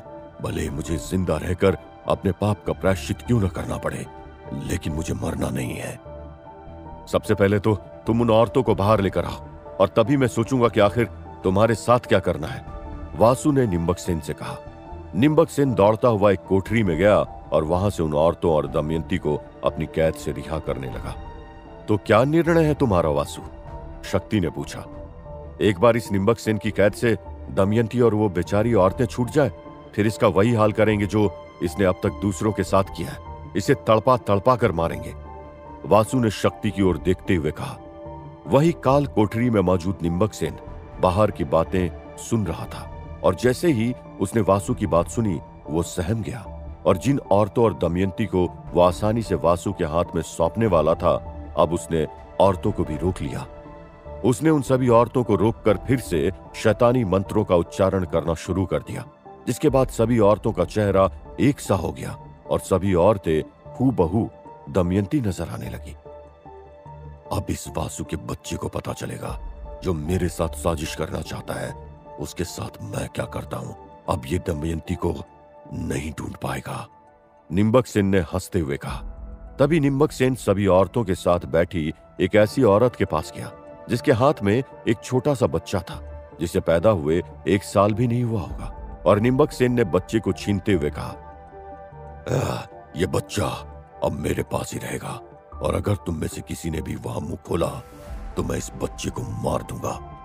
निम्बक सेन ने घूरते हुए सभी औरतों से कहा, जैम भी निम्बक सेन के साथ ही था, और उसने भी कई अन्य औरतों के बच्चों को उनसे छीन लिया था। इन सब बच्चों को पैदा हुए अभी साल भर भी नहीं हुआ था, लेकिन निम्बक सेन और जयम इन बच्चों को ऐसे छीन रहे थे जैसे वो कोई बच्चे नहीं, बल्कि कोई वस्तु हो। निम्बक सेन, तू अपनी मौत की दहलीज पर खड़ा है, लेकिन तू अभी भी राक्षसीपन से बाज नहीं आ रहा है। तू जो कर रहा है ना, उसका अंजाम सोच। तूने जो जो पाप किए, उन सब की सजा एक न एक दिन तो मिलेगी। एक औरत ने निम्बक सेन को डराते हुए कहा। उस औरत का इतना कहना था कि निम्बक सेन ने अचानक उस औरत को गायब कर दिया। सभी औरतें ये देखकर दंग रह गई और निम्बक सेन ने चिल्लाते हुए कहा, अगर तुम में से किसी ने भी मेरे साथ गद्दारी करने की कोशिश की तो तुम सबके साथ भी यही होगा जो इस औरत के साथ हुआ है। औरतें डरी हुई थी। वही वासु दमयंती के आने का इंतज़ार कर रहा था और वासु ने कहा, आखिर इस निम्बक सेन को आने में इतनी देर क्यों हो गई? कहीं वो फिर से कोई साजिश करने की तो नहीं सोच रहा है? शक्ति ने वासु की तरफ़ देखा और मुस्कुराते हुए कहा बहुत जल्दी निम्बक के पाप चरम पर होंगे। फिर देखना, ये कोई भी साजिश को अंजाम देने के भी काबिल नहीं रहेगा। इतने में तमाम औरतें घूंघट लटकाए सबके सामने आ गई और साथ ही साथ निम्बक सेन भी आ रहा था। वहीं जयम इन औरतों के बच्चों को अंदर कैद किए हुए बैठा था। जैसे ही वासु ने इन औरतों को देखा तो वह खुश हो गया। वो सभी औरतों के पास गया और बोला, दमयंती, तुम कहा हो? दमयंती, मैं वासु आ गया अब हमारा यहाँ से निकलने का वक्त आ गया है। वासु के बार बार कहने पर भी किसी औरत ने न ही घूंघट ऊपर उठाया और न ही कुछ कहा। आप लोग कुछ बोलते क्यों नहीं हो? आखिर बात क्या है? दमयंती कहाँ है? वासु ने कई बार पूछा, लेकिन किसी ने कोई जवाब नहीं दिया और वो सब चुपचाप खड़े रहे। वासु दमयंती से मिलने के लिए बेताब था, लेकिन इतनी औरतों के बीच में दमयंती कहाँ थी, इसका कोई पता नहीं चल रहा था। आप सब लोग अपना घूंघट क्यों नहीं हटा रही हैं? वासु ने उन औरतों से कहा, पहले तो वो औरतें चुप रही और फिर वासु के बार बार कहने पर उन औरतों ने अपना घूंघट उठाया और जैसे ही वासु ने उन औरतों को देखा, वो देखकर हैरान रह गया। हर औरत का चेहरा दमयंती की तरह था। वासु कुछ देर तो कुछ भी बोल न सका और एकदम शांत रहा। उसके चेहरे से हवाइयाँ उड़ गई थी और उसने चिल्लाते हुए कहा, निम्बक सेन, तुमने फिर से हम लोगों के साथ साजिश रची है। मैं तुम्हें छोड़ूँगा नहीं। निम्बक सेन हंस रहा था और बोला, बस मैं तुम्हारे अंदर यही तड़प देखना चाहता हूँ, वासु। अभी तो मैंने बस तुमसे बदला लेने की शुरुआत की है। आगे आगे देखो, होता है क्या। शक्ति और अघोरी भी ये देखकर हैरान थे और शिवदास ने निम्बक सेन से कहा, अब तुम सिर्फ़ हमारा समय बर्बाद कर रहे हो। अगर तुमने चुपचाप इन औरतों को आज़ाद नहीं किया तो तो फिर क्या? तुम मुझे मार दोगे। लो मार दो। लेकिन ध्यान रहे इसके बाद इन औरतों में कौन दमयंती है ये तुम लोगों को कभी भी पता नहीं चल पाएगा। निम्बक सेन ने ताने मारते हुए अघोरी से कहा तु, तुम ऐसा कुछ भी नहीं करोगे। तुम्हें बताना ही होगा कि दमयंती कहाँ है? वासु ने निम्बक सेन से कहा निम्बक सेन हंस रहा था क्योंकि एक बार फिर से बाजी उसके हाथ में ही थी। और निम्बक सेन के अलावा ऐसा कोई भी नहीं था। जो औरतों को उनका अपना चेहरा वापस दे सके। आखिर तुम्हें अब क्या चाहिए, निम्बक सेन? मैं तुम्हें सब कुछ देने के लिए तैयार हूँ, लेकिन तुम दमयंती और इन औरतों को छोड़ दो। अब बस बहुत हुआ। वासु ने निम्बक सेन से विनती करते हुए कहा, ठीक है, तुम जैसा कहते हो, मैं वैसा ही कर देता हूँ। लेकिन इसके लिए तुम सबको मेरी एक शर्त माननी होगी। निम्बक सेन ने अघोरियों को देखते हुए अपनी बात कही। एक भी अघोरी निम्बक सेन के सामने झुकना नहीं चाहता था, और वो निम्बक सेन की एक भी शर्त मानने को तैयार नहीं था। अगर मेरी ये शर्त पूरी नहीं की गई तो फिर तुम इनमें से एक भी औरत को नहीं बचा पाओगे, और अपनी दमयंती को भूल ही जाओ। निम्बक सेन ने वासु की ओर देखते हुए कहा, हम चाहें तो तुझे अभी यहाँ खत्म कर सकते हैं। जिस तरह तेरे पूरे दैत्य साम्राज्य का नाश किया है, वैसे ही अगर तूने हमारी बात नहीं मानी तो तुझे यहीं पर भस्म कर देंगे, शिवदास ने चिल्लाते हुए कहा। अगर आपको लगता है कि आप मुझे भस्म कर सकते हैं तो कर दीजिए, लेकिन फिर इन औरतों को इनकी असल पहचान कैसे वापस देंगे? इनकी असल पहचान तो मेरे हाथ में है। निम्बक सेन ने मज़ाक उड़ाते हुए कहा, आखिर अब निम्बक सेन ऐसी कौन सी शर्त रखने वाला था? क्या वासु के लिए और एक मुसीबत सामने खड़ी थी? क्या निम्बक सेन अपनी शर्त के कारण जीत जाएगा? दमयंती वासु को मिलेगी भी या फिर नहीं? क्या निम्बक सेन से बचने का कोई और रास्ता भी था? क्या निम्बक से औरतों को उनका असली चेहरा लौटा देगा? जानने के लिए सुनते रहिए श्रापित राजकुमार सिर्फ़ पॉकेट एफ़ पर।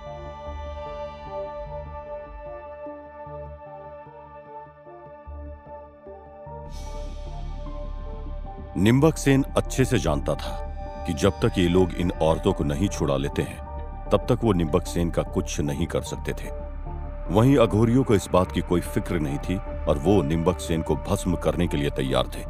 जैसे ही निम्बक सेन ने भस्म करने की बात कही, शिवदास ने अपने कमंडल से जल लिया और मंत्रों का उच्चारण करने लगा। ये देखकर निम्बक सेन डर गया और बोला, अगर मुझे कुछ भी हुआ तो ये सब औरतें हमेशा ऐसी ही रहेंगी। और इनके बच्चे भी तुम लोगों को मिल नहीं पाएँगे। इसलिए इस अघोरी को रोको, वासु।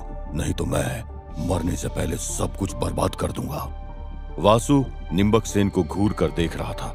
और जैसे ही अघोरी शिवदास निम्बक सेन पर वो जल फेंकने वाला था, तभी शक्ति ने कहा, रुक जाइए। अभी इसके पापों की सजा मिलने में वक्त है। हमें इसकी शर्त माननी ही होगी। शिवदास रुक गया और निम्बक सेन की हँसी फिर से लौट आई। और वो ज़ोर ज़ोर से हंसने लगा। मैं जीत गया। मैं जीत गया। मुझे कोई भी शक्ति मार नहीं सकती है। मैं निम्बक सेन हूँ और मैं इस पूरी पृथ्वी को एक दिन जीत लूँगा। निम्बक सेन ने हँसते हुए कहा। निम्बक सेन अपने में ही फूले नहीं समा रहा था और उसे लग रहा था कि उसने पूरे जहाँ को जीत लिया तभी शक्ति ने गुस्से में आकर कहा, अपनी जीत का इतना भी जश्न मत मनाओ निम्बक सेन। अगर तुम्हारी मौत अभी लिखी होती तो उसे कोई नहीं रोक सकता था। तुम्हें शुक्र मनाना चाहिए कि तुम्हारी अभी मौत लिखी नहीं है, लेकिन ये याद रखो, तुम अमर नहीं हो और तुम्हारी भी एक न एक दिन मौत निश्चित है। मैं कभी नहीं मरूँगा। मैं अमरता का वरदान प्राप्त करूँगा। मैं देवताओं को अपने वश में करूँगा। मेरा लक्ष्य मैं कभी नहीं भूल सकता हूँ। निम्बक सेन ने घूरते हुए शक्ति से कहा, तुम्हारी ये इच्छा कभी पूरी होने वाली नहीं है, निम्बक सेन? शक्ति ने मुस्कुराते हुए निम्बक सेन से कहा, जैसे मैंने अब तक तुम लोगों से वो सब करवाया है, जो मैं चाहता था, वैसे ही मैं वो सब हासिल करूँगा, जो मैं चाहता हूँ। निम्बक सेन ने सभी की ओर घूर कर कहा, ठीक है, निम्बक सेन फ़िलहाल तो तुम अपनी शर्त बताओ। आखिर तुम अब क्या चाहते हो? शक्ति ने निम्बक सेन से पूछा। हालाँकि शक्ति को पहले से ही पता था कि निम्बक सेन क्या चाहता था। मैं चाहता हूँ कि मेरी सभी दैत्य शक्तियों को फिर से जीवन दिया जाए और मेरी शक्तियों को वापस किया जाए। मैं इस गुफा से दूर चला जाऊँगा और कभी इधर नहीं आऊँगा।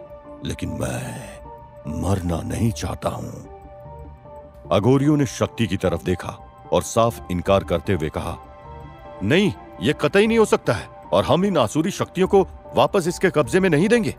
ठीक है फिर मुझे भी मार दो और मैं इनके बच्चों और इन औरतों को मार देता हूँ। निम्बक सेन ने धमकी देते हुए अघोरियों से कहा निम्बक सेन और अघोरियों में काफ़ी बातचीत होने के बाद शक्ति ने कहा ठीक है तुम्हें वो सभी शक्तियाँ वापस मिल जाएगी लेकिन ये याद रखना कि अब अगर तुमने इस दुनिया को नुकसान पहुंचाना चाहा तो फिर उसका अंजाम बहुत बुरा होगा। थोड़ी देर बाद शक्ति के कहने पर निम्बक सेन को उसकी शक्तियाँ वापस दे दी गई, और तभी शक्ति ने निम्बक सेन से कहा, निम्बक सेन, आज मैं तुम्हें एक श्राप देती हूँ। अगर तुमने आज के बाद किसी भी औरत के लिए बुरा सोचा और उसे गलत निगाह से देखा और उसका गलत इस्तेमाल किया तो ये सारी शक्तियाँ उसी समय तुमसे दूर चली जाएँगी। निम्बक सेन ने जैसे ये सुना, वो हैरान रह गया और थोड़ी देर बाद अघोरी शिवदास ने शक्ति से कहा, मेरे कमंडल से निकला मंत्रोच्चारित जल वापस नहीं जा सकता है। मुझे इसका इस्तेमाल कहीं ना कहीं करना ही होगा। निम्बक सेन ने जैम को बाहर बुलाया और जैम से उन औरतों को उनके बच्चे वापस करने को कहा। थोड़ी ही देर में सभी औरतों को अपनी पहचान वापस मिल गई। वासु वासु, मुझे बचा लो, वासु। दमयंती दौड़ते हुए आई और वासु के गले से लिपट गई। हर किसी के लिए यह भावुक पल था, क्योंकि काफ़ी कोशिश करने के बाद आज वासु और दमयंती एक दूसरे से मिले थे। वहीं अन्य औरतें भी अपने बच्चों को अपनी गोद में लेकर खुश थी। हर औरत अपने बच्चे को प्यार कर रही थी और हर किसी के लिए पल बेहद खूबसूरत था, क्योंकि हर किसी को निम्बक सेन की कैद से आज़ादी मिलने वाली थी। तुमने मेरे लिए इतना कुछ किया, वासु? मेरे कारण तुम अपनी मणि भूल गए और यहाँ मुझे बचाने के लिए आ गए।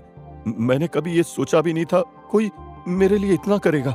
मेरे भाई के सिवा मेरे लिए इतना कोई नहीं सोचता था, लेकिन तुमने मुझे बचाने के लिए अपनी ज़िंदगी तक दांव पर लगा दी, वासु। दमयंती ने वासु की आँखों में देखते हुए कहा। वासु भी दमयंती को देखे जा रहा था। दोनों ही एक दूसरे की आँखों में देखे जा रहे थे। तभी दमयंती वासु के करीब आई और उसके गले से लग गई। दमयंती सभी के सामने वासु के बहुत करीब आ गई थी। सभी ने यह देखकर अपना चेहरा फेर लिया और हर कोई वासु और दमयंती के लिए खुश था। सभी दमयंती और वासु के प्यार को समझ चुके थे। वासु ने दमयंती को पाने के लिए अपना सब कुछ त्याग दिया था। मैं मैं तुम्हारे लिए क्या करूँ वासु? तुमने मेरे लिए जो भी किया, उसे मैं कई जन्म लेकर भी चुका नहीं सकती हूँ। जानते हो वासु, निम्बक सेन ने हम औरतों को कैद सिर्फ़ अपनी मनमानी के लिए नहीं किया था, बल्कि यह औरतों की पवित्र ऊर्जा का इस्तेमाल कर इस दुनिया पर काबू पाना चाहता था। लेकिन तुमने इसका यह गलत मकसद पूरी तरह से तबाह कर दिया, वासु। मुझे तुम पर गर्व है। दमयंती ने वासु की आँखों में देखते हुए कहा, वासु भी बस दमयंती की आँखों में खुशी देख रहा था। और उसने कहा, मुझे तुम्हारी और यहाँ मौजूद सभी औरतों के होठों पर मुस्कुराहट देखकर लग रहा है कि आज मेरी सारी मेहनत कामयाब होगी। हर औरत वासु की प्रशंसा कर रही थी और एक औरत ने कहा, अगर तुम जैसे लोग इस पृथ्वी पर हो जाए तो एक भी औरत का ना ही अपमान हो और ना ही एक भी औरत को कष्ट मिले। लेकिन अफसोस तो इस बात का है कि इस पृथ्वी पर निम्बक सेन जैसे तमाम दैत्य हैं, जो औरतों का सम्मान नहीं करते और वासु जैसे बहुत कम है, जो सिर्फ़ औरतों के सम्मान और उनकी खुशी के लिए जीते हैं। अब बंद करो इस वासु की तारीफ़ करना। ये वासु मेरे सामने कुछ भी नहीं है। वो तो अगर ये सब लोग आकर इसकी मदद नहीं करते तो ये भी तुम लोगों के साथ यही कैद में होता। निम्बक सेन ने गुस्से में कहा, किसी भी औरत ने निम्बक सेन की किसी भी बात का कोई जवाब नहीं दिया। दमयंती, तुम इन सभी औरतों को यहाँ से निकालकर बाहर ले जाओ। वासु ने दमयंती से कहा, दमयंती उन सभी औरतों के साथ गुफा से बाहर जाने लगी, और आज सभी औरतों की खुशी का कोई ठिकाना नहीं था।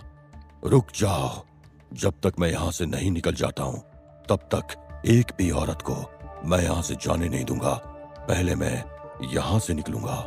निम्बक सेन ने कहा, सभी औरतें और दमयंती वहीं रुक गई और फिर निम्बक सेन वहाँ से निकलने की तैयारी करने लगा। मैं वापस ज़रूर आऊँगा वासु, तुमसे मेरा बदला अभी पूरा नहीं हुआ है और एक दिन मैं तुमसे अपना बदला ज़रूर लूँगा। वो जो मणि तुम हासिल करना चाहते हो, उसे भी मैं तुमसे छीन लूँगा। ये कहकर निम्बक सेन गुफा से बाहर की ओर जाने लगा। मुझे भी यहाँ से बाहर निकालिए, गुरुदेव। जयम ने परेशान होते हुए निम्बक सेन से कहा। निम्बक सेन ने पीछे मुड़कर देखा और फिर अघोरी से बोला, वो जल आप इसके ऊपर डालकर इसे भस्म कर दे। ये जयम मेरे किसी काम का नहीं है और जो मेरे काम का नहीं, उसे मैं ज़िंदा नहीं रखता। ये सुनकर जयम को बहुत ज़्यादा गुस्सा आ गया और उसने गुस्से में कहा, धोखेबाज, दुष्ट तुझे अपने आगे मेरी जान की कोई फ़िक्र नहीं है। तूने मुझसे अपना हर काम करवाया और आज, जब तेरा मकसद पूरा हो गया तो तू मुझे यहाँ मरने के लिए छोड़कर जा रहा है। मैंने तुझ जैसा दुष्ट आज तक नहीं देखा है। जैम काफ़ी गुस्से में था। वहीं निम्बक सेन जैम को धोखा देकर वहाँ से जा चुका था। जयम ने निम्बक सेन से खुद को साथ ले चलने के लिए काफ़ी बार विनती की, लेकिन निम्बक सेन ने एक भी न सुनी। और जयम ने बोला, तू सिर्फ़ खुद को शक्तिशाली समझता है ना निम्बक? लेकिन तू याद रख, तूने जो मेरे साथ किया है ना, तेरे से उसका बदला मेरा बेटा अभिनव लेगा। और तू बस अपनी मौत का इंतज़ार कर। निम्बक सेन को जैम की बात से कोई फ़र्क नहीं पड़ रहा था, और वो अपनी दैत्य शक्तियों के साथ गुफा से बाहर जा रहा था। तभी जैम ने कहा, अगर मेरे बेटे का सबसे बड़ा दुश्मन कोई होगा तो वो अब से तू ही होगा। तू अपनी मौत की प्रतीक्षा कर। बहुत जल्द मेरे बेटे अभिनव के द्वारा तेरी मौत होने वाली है। जैम काफ़ी उदास था। क्योंकि अब उसकी मौत बहुत समीप थी। जैम के आँसू तेज बारिश के समान बह रहे थे और उसका रो रो कर बुरा हाल था।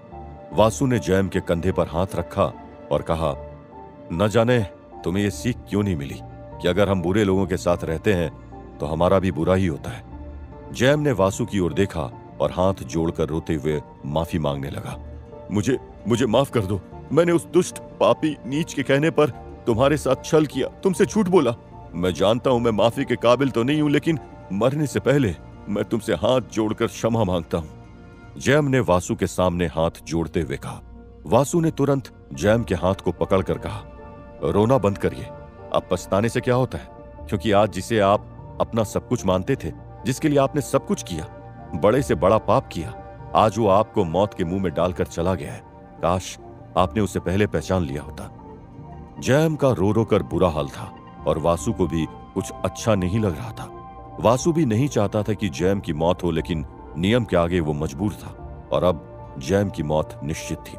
जैसे ही अघोरी शिवदास जैम को भस्म करने वाले थे, जैम ने वासु को अपने नज़दीक बुलाया और कहा, आप तो किसी का वादा निभाने के लिए अपनी जान की भी कुर्बानी दे देते हैं। आज मैं आपसे एक वादा मांग रहा हूँ। आज आप एक काम मेरा कर दीजिए।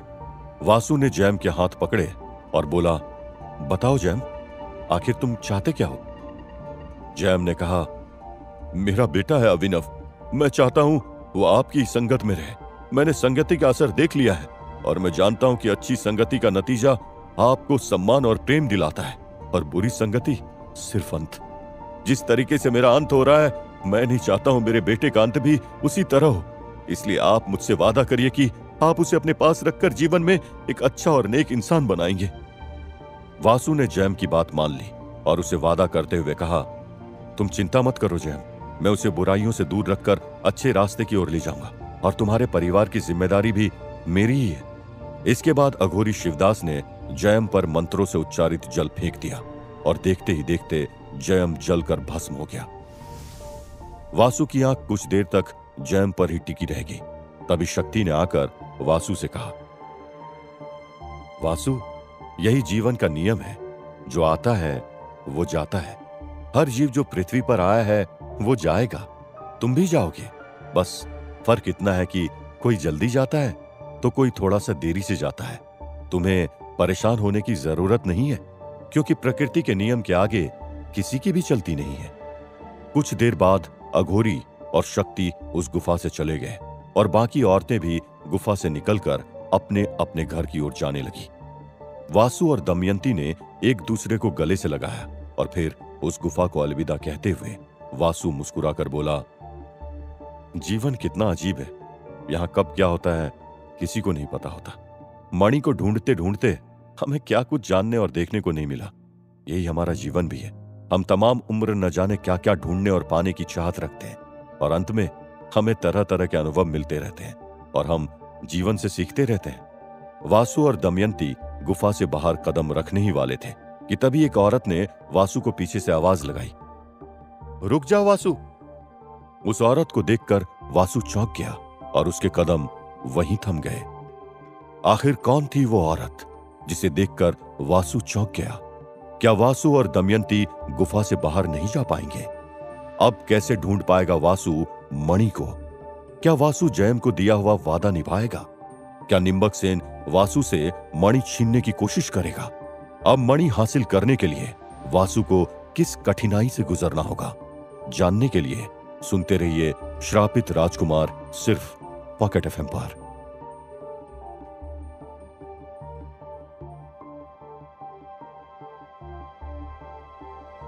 वासु को आवाज़ देकर रोकने वाली औरत और कोई नहीं, बल्कि राजकुमारी शालिनी थी। अरे, राजकुमारी शालिनी, आप वासु ने चौंकते हुए शालिनी को देखकर कहा। राजकुमारी शालिनी मुस्कुराई और बोली तो आखिरकार तुमने सबको बचा ही लिया वासु? वासु भी राजकुमारी शालिनी को देखकर मुस्कुराया और दमयंती को राजकुमारी शालिनी के बारे में बताते हुए बोला, राजकुमारी शालिनी ने हमारी बहुत मदद की है। अगर वो न होती तो मैं कब का जान गवा चुका होता दमयंती। दमयंती भी राजकुमारी शालिनी को देखकर मुस्कुराई और फिर वासु ने राजकुमारी शालिनी को उनकी दी हुई चादर देते हुए कहा, इस चादर ने मेरी कई तरीकों से जान बचाई है। आपका बहुत बहुत शुक्रिया। शायद ये चादर नहीं होती तो मैं आज ज़िंदा नहीं होता। ऐसा नहीं है। तुम एक साहसिक युवक हो, वासु। तुम्हें कोई भी ताकत नहीं मार सकती है, क्योंकि तुम लड़ना जानते हो। तुम अपनी हार नहीं मानते हो और जीत के लिए तुम्हारी जिद ही तुम्हें जीत दिलाती है। राजकुमारी शालिनी ने मुस्कुराते हुए वासु से कहा मैं किसी से कुछ जीतना नहीं चाहता था, राजकुमारी शालिनी। मैं तो बस उन लड़कियों और औरतों को बचाना चाहता था, जिन पर अत्याचार हो रहा था। और आगे भी मैं ऐसा ही करूँगा। वासु ने राजकुमारी शालिनी की ओर देखकर कहा, राजकुमारी शालिनी वासु से बहुत प्रभावित थी, क्योंकि आज इतनी बड़ी जीत होने के बाद भी वासु के मन और दिल में थोड़ा सा भी अहम भाव नहीं था। इस चादर की ज़रूरत तुम्हें बहुत ज़्यादा पड़ने वाली है, वासु, इसलिए अब से ये चादर तुम ही रखो। वैसे भी मुझे इसकी कोई ज़रूरत नहीं है। राजकुमारी शालिनी ने चादर वासु को देते हुए कहा। वासु ने वो चादर रख ली और फिर दमयंती, वासु और राजकुमारी शालिनी गुफा से बाहर की ओर जाने लगे। काश अब कोई राक्षस आकर इस गुफा को दोबारा अपनी राक्षसी सोच के लिए प्रयोग न करे। इसलिए हमें इस गुफा को बंद कर देना चाहिए। राजकुमारी शालिनी ने वासु से कहा। थोड़ी देर बाद वासु, दमयंती और राजकुमारी शालिनी ने मिलकर उस गुफा के दरवाजे को पत्थरों से बंद कर दिया और फिर वहाँ से अपनी अपनी मंजिल की ओर जाने लगे। जाओ और अपने लक्ष्य में सफल हो। तुम्हारी मणि तुम्हें मिल जाए जिससे तुम भी इस तरह भटकना बंद कर दो। राजकुमारी शालिनी ने वासु से कहा, मुझे पहले मणि नहीं, बल्कि जैम के बेटे अभिनव से मिलने के लिए जाना है। जैम ने मुझसे वादा लिया है कि मुझे उसके बेटे का ख्याल रखना है, और अगर मैंने वो वादा नहीं निभाया तो मुझे अंदर ही अंदर बहुत कष्ट होगा। वासु ने राजकुमारी शालिनी से कहा, जैसे ही वासु ने यह बात कही, दमयंती की भौएँ तन गई और दमयंती ने वासु से पूछा तो तुम फिर से अपनी जरूरतों को भूलकर दूसरों की मदद करने के लिए जा रहे हो? इसमें नाराज़ होने वाली क्या बात है, दमयंती? मेरा सबसे बड़ा धर्म है दूसरों को किए हुए वादे को सबसे पहले निभाना। चाहे मुझे मौत भी आने वाली हो, मैं पहले दूसरों के बारे में सोचूँगा और फिर अपने बारे में सोचूँगा। एक राजा की नीतियों के तौर पर मैंने यही सीखा है।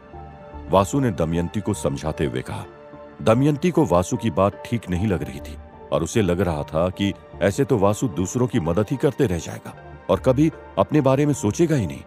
दमयंती ने वासु को समझाते हुए कहा, तुम्हें दूसरों की चिंता छोड़ पहले अपने बारे में सोचना चाहिए।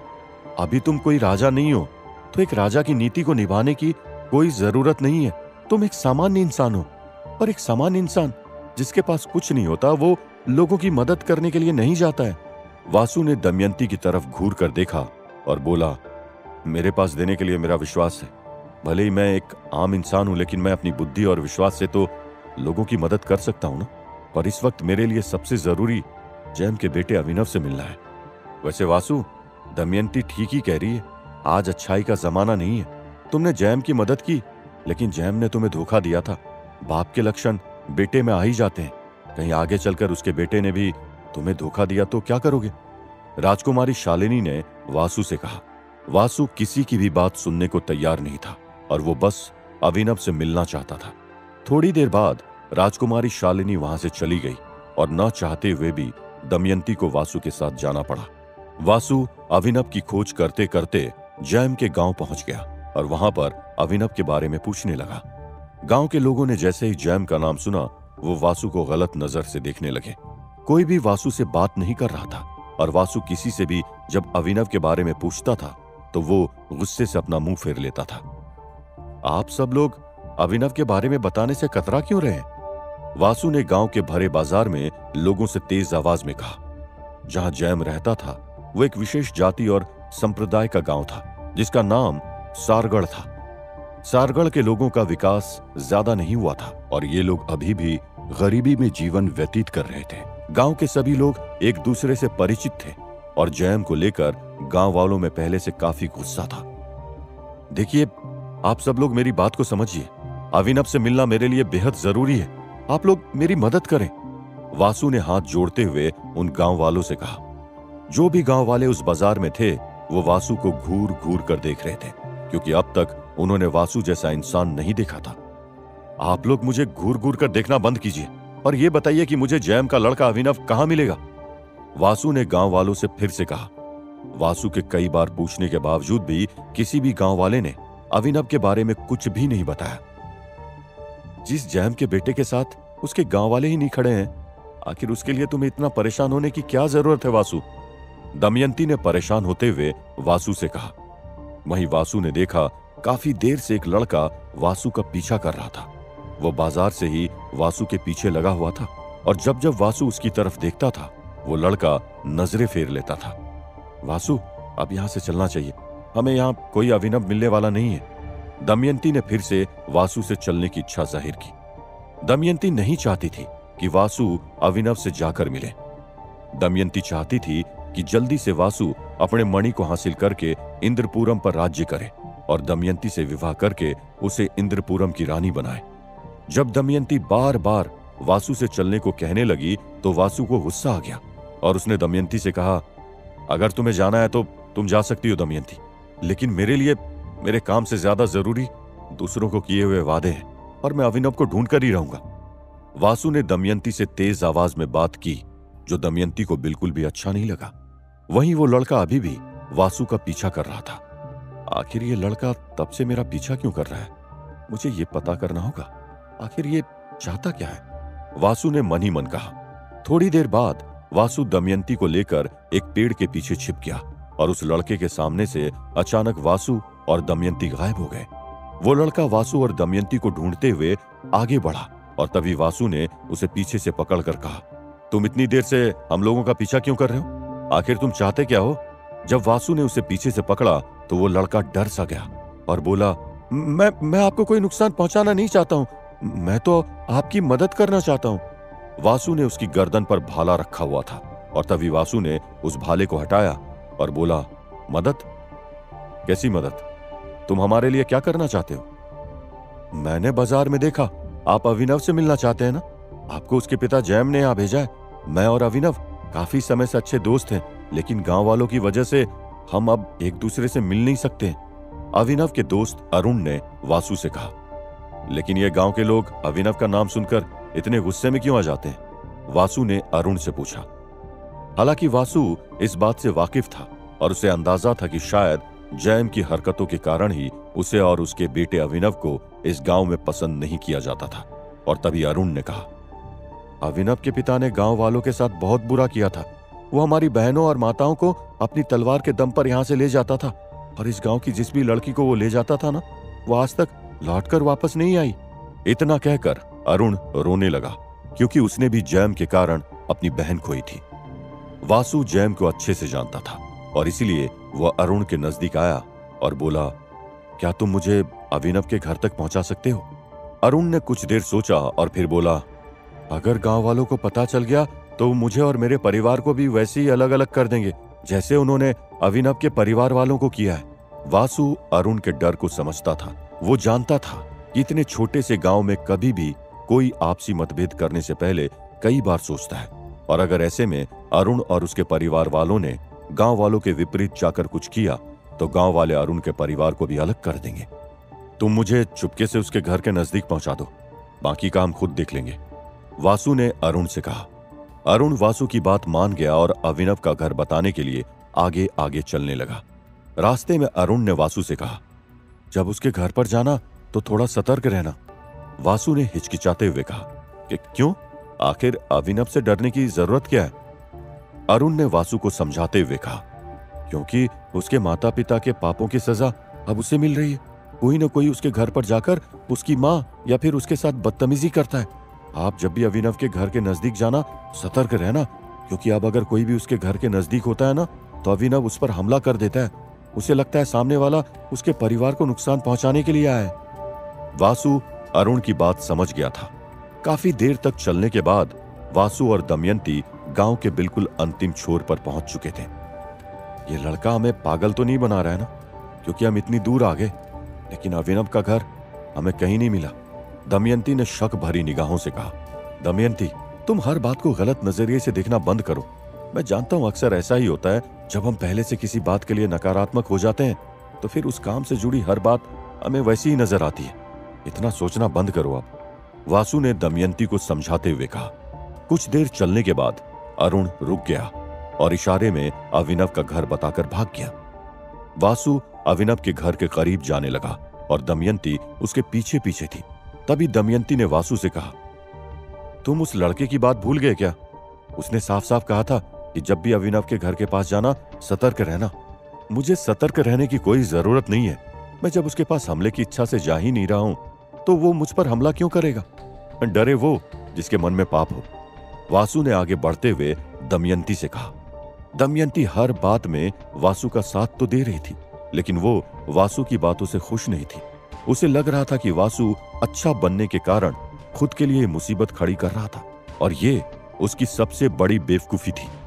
वासु हाथ में भाला लिए अभिनव के घर के करीब बढ़ता जा रहा था और उसके पीछे पीछे दमयंती भी आ रही थी। तभी अभिनव ने दूर से देखा और कहा, ये गाँव वाले आज तक नहीं माने और ये यहाँ हमें भी चैन से जीने नहीं देंगे। आज तो मैं इसे छोड़ूँगा ही नहीं। अभिनव ने अपनी तलवार निकाली और वासु को मारने के लिए निकलने लगा। तभी उसकी माँ शांति उसके सामने आकर खड़ी हो गई और बोली, मैं तुम्हें कभी भी अपने पिता जैम की तरह नहीं बनने दूँगी। तुम बगैर तलवार के ही अपने दुश्मन से बात करोगे। अभिनव ने अपनी माँ की तरफ़ देखा और गुस्से में बोला, बगैर तलवार बगैर तलवार, कब से आप मुझे यही हिदायत देती आ रही है? लेकिन उसका नतीजा देखा आपने? आज हमारी हालत गाँव वालों ने क्या कर दी है? गाँव से बाहर निकालने के बाद भी इन लोगों को चैन नहीं आया और आज देखो, ये फिर से आ गए वासु अविनव के घर के करीब बढ़ता चला आ रहा था। अपनी माँ को किनारे करते हुए अविनव ने कहा, आप हट जाइए। जब तक मेरी तलवार इन गाँव वालों से बात नहीं कर लेती, तब तक इनके होश ठिकाने नहीं आएँगे। आज या तो मैं रहूँगा, या फिर ये गाँव वाले क्या वासु और अभिनव के बीच लड़ाई होगी? इस लड़ाई में आखिर कौन जीतेगा? कैसे वासु अभिनव की मदद करेगा? क्या अभिनव की मदद करने के लिए गाँव वाले वासु का विरोध करेंगे? जानने के लिए सुनते रहिए श्रापित राजकुमार, सिर्फ़ पॉकेट एफ़ पर।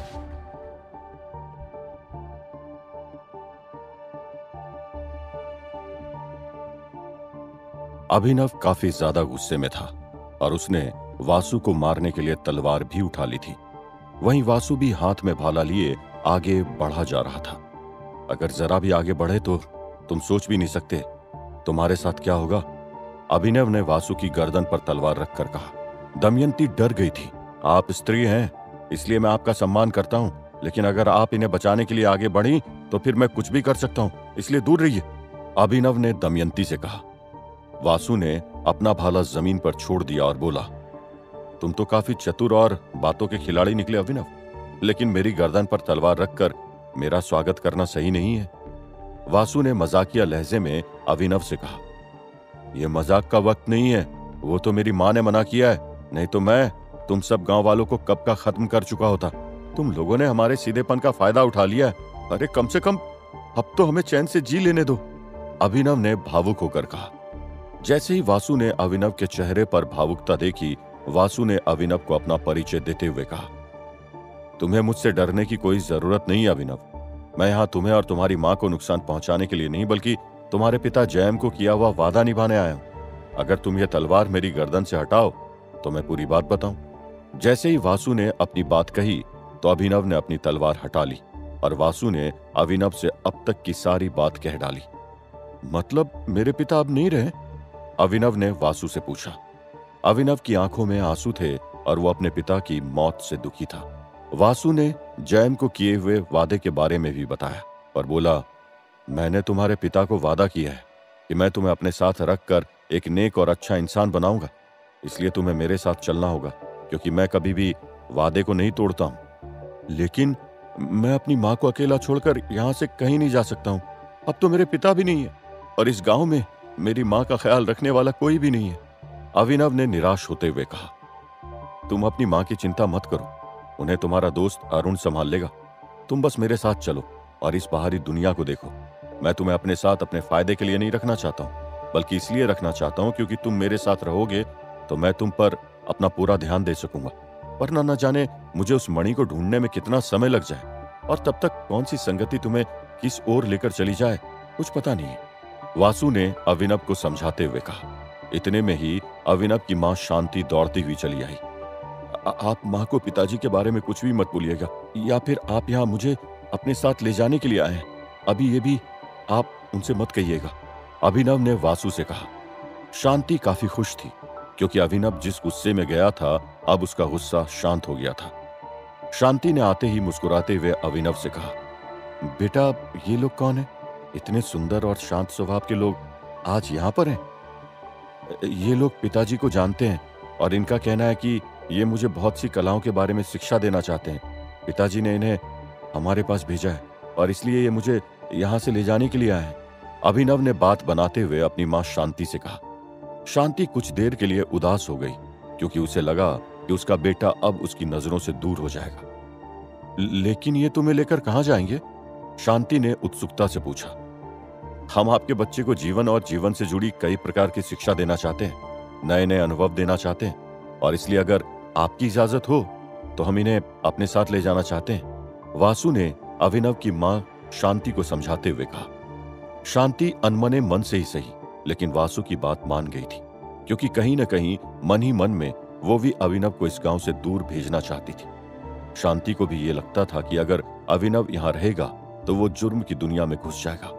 और आने वाले समय में अपने पिता की तरह बन जाएगा। इसलिए न चाहते हुए भी शांति वासु की बात मान गई। दमयंती को यह सारी चीज़ें बुरी लग रही थी, क्योंकि अब वासु और उसके बीच में अभिनव आ गया था। अंदर ही अंदर दमयंती का बहुत बुरा हाल था और उसका गुस्सा अंदर ही अंदर उबाल मार रहा था। तभी वासु ने अभिनव से कहा, तुम अपने पिता से बिल्कुल ही अलग हो। तुम्हारे पास खड़े होने से एक अलग ही ऊर्जा का एहसास होता है। जहाँ तुम्हारे पिता गलत कामों में लगे रहते थे, वहीं ऐसा लग रहा है तुम उनसे कोसों दूर भागते हो। मैंने अपने जीवन में अपने पिता से कम और अपनी माँ से ज़्यादा सीखा है। मैंने क्या सीखा है, ये तुरंत तो बता नहीं सकता, लेकिन मैं इतना ज़रूर जानता हूँ कि मेरी माँ ने मुझे हमेशा अच्छी शिक्षाएँ दी है। अभिनव ने गर्व के साथ वासु से कहा। वहीं दमयंती, जो काफ़ी देर से अंदर ही अंदर परेशान हो रही थी, बोली, अब अगर सब हो गया हो तो अब हमें यहाँ से निकलना चाहिए, वासु। क्या तुम मणि को भूल गए हो? वासु ने दमयंती की आँखों में जब गुस्सा देखा तो उसने दमयंती से कहा, मैं कुछ भी नहीं भूला हूँ दमयंती, लेकिन तुम्हें मेरे साथ इस तरह जीने की आदत डालनी होगी। तभी दमयंती वासु को अकेले में लेकर गई और गुस्से में बोली, तुम समझते क्यों नहीं हो? तुम्हारे लिए वो मणि ढूंढना कितना ज़रूरी है। तुम अपने जब राजमहल से निकले थे तो उस मणि को ढूँढने के लिए निकले थे ना? कि लोगों का कल्याण करने के लिए निकले थे।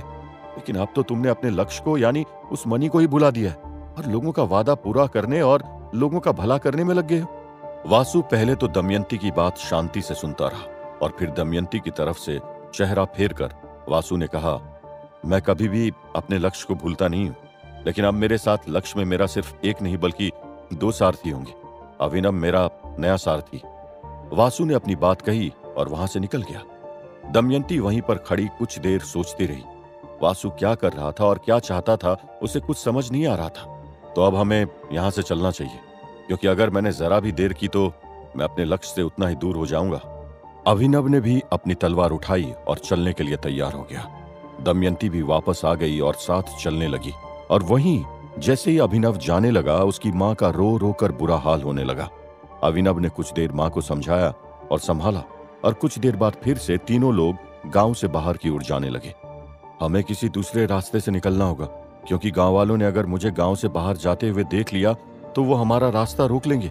कुछ देर चलने के बाद अभिनव ने वासु से कहा, क्यों तुमने भी अपने पिता की तरह गाँव वालों के साथ छल किया है क्या?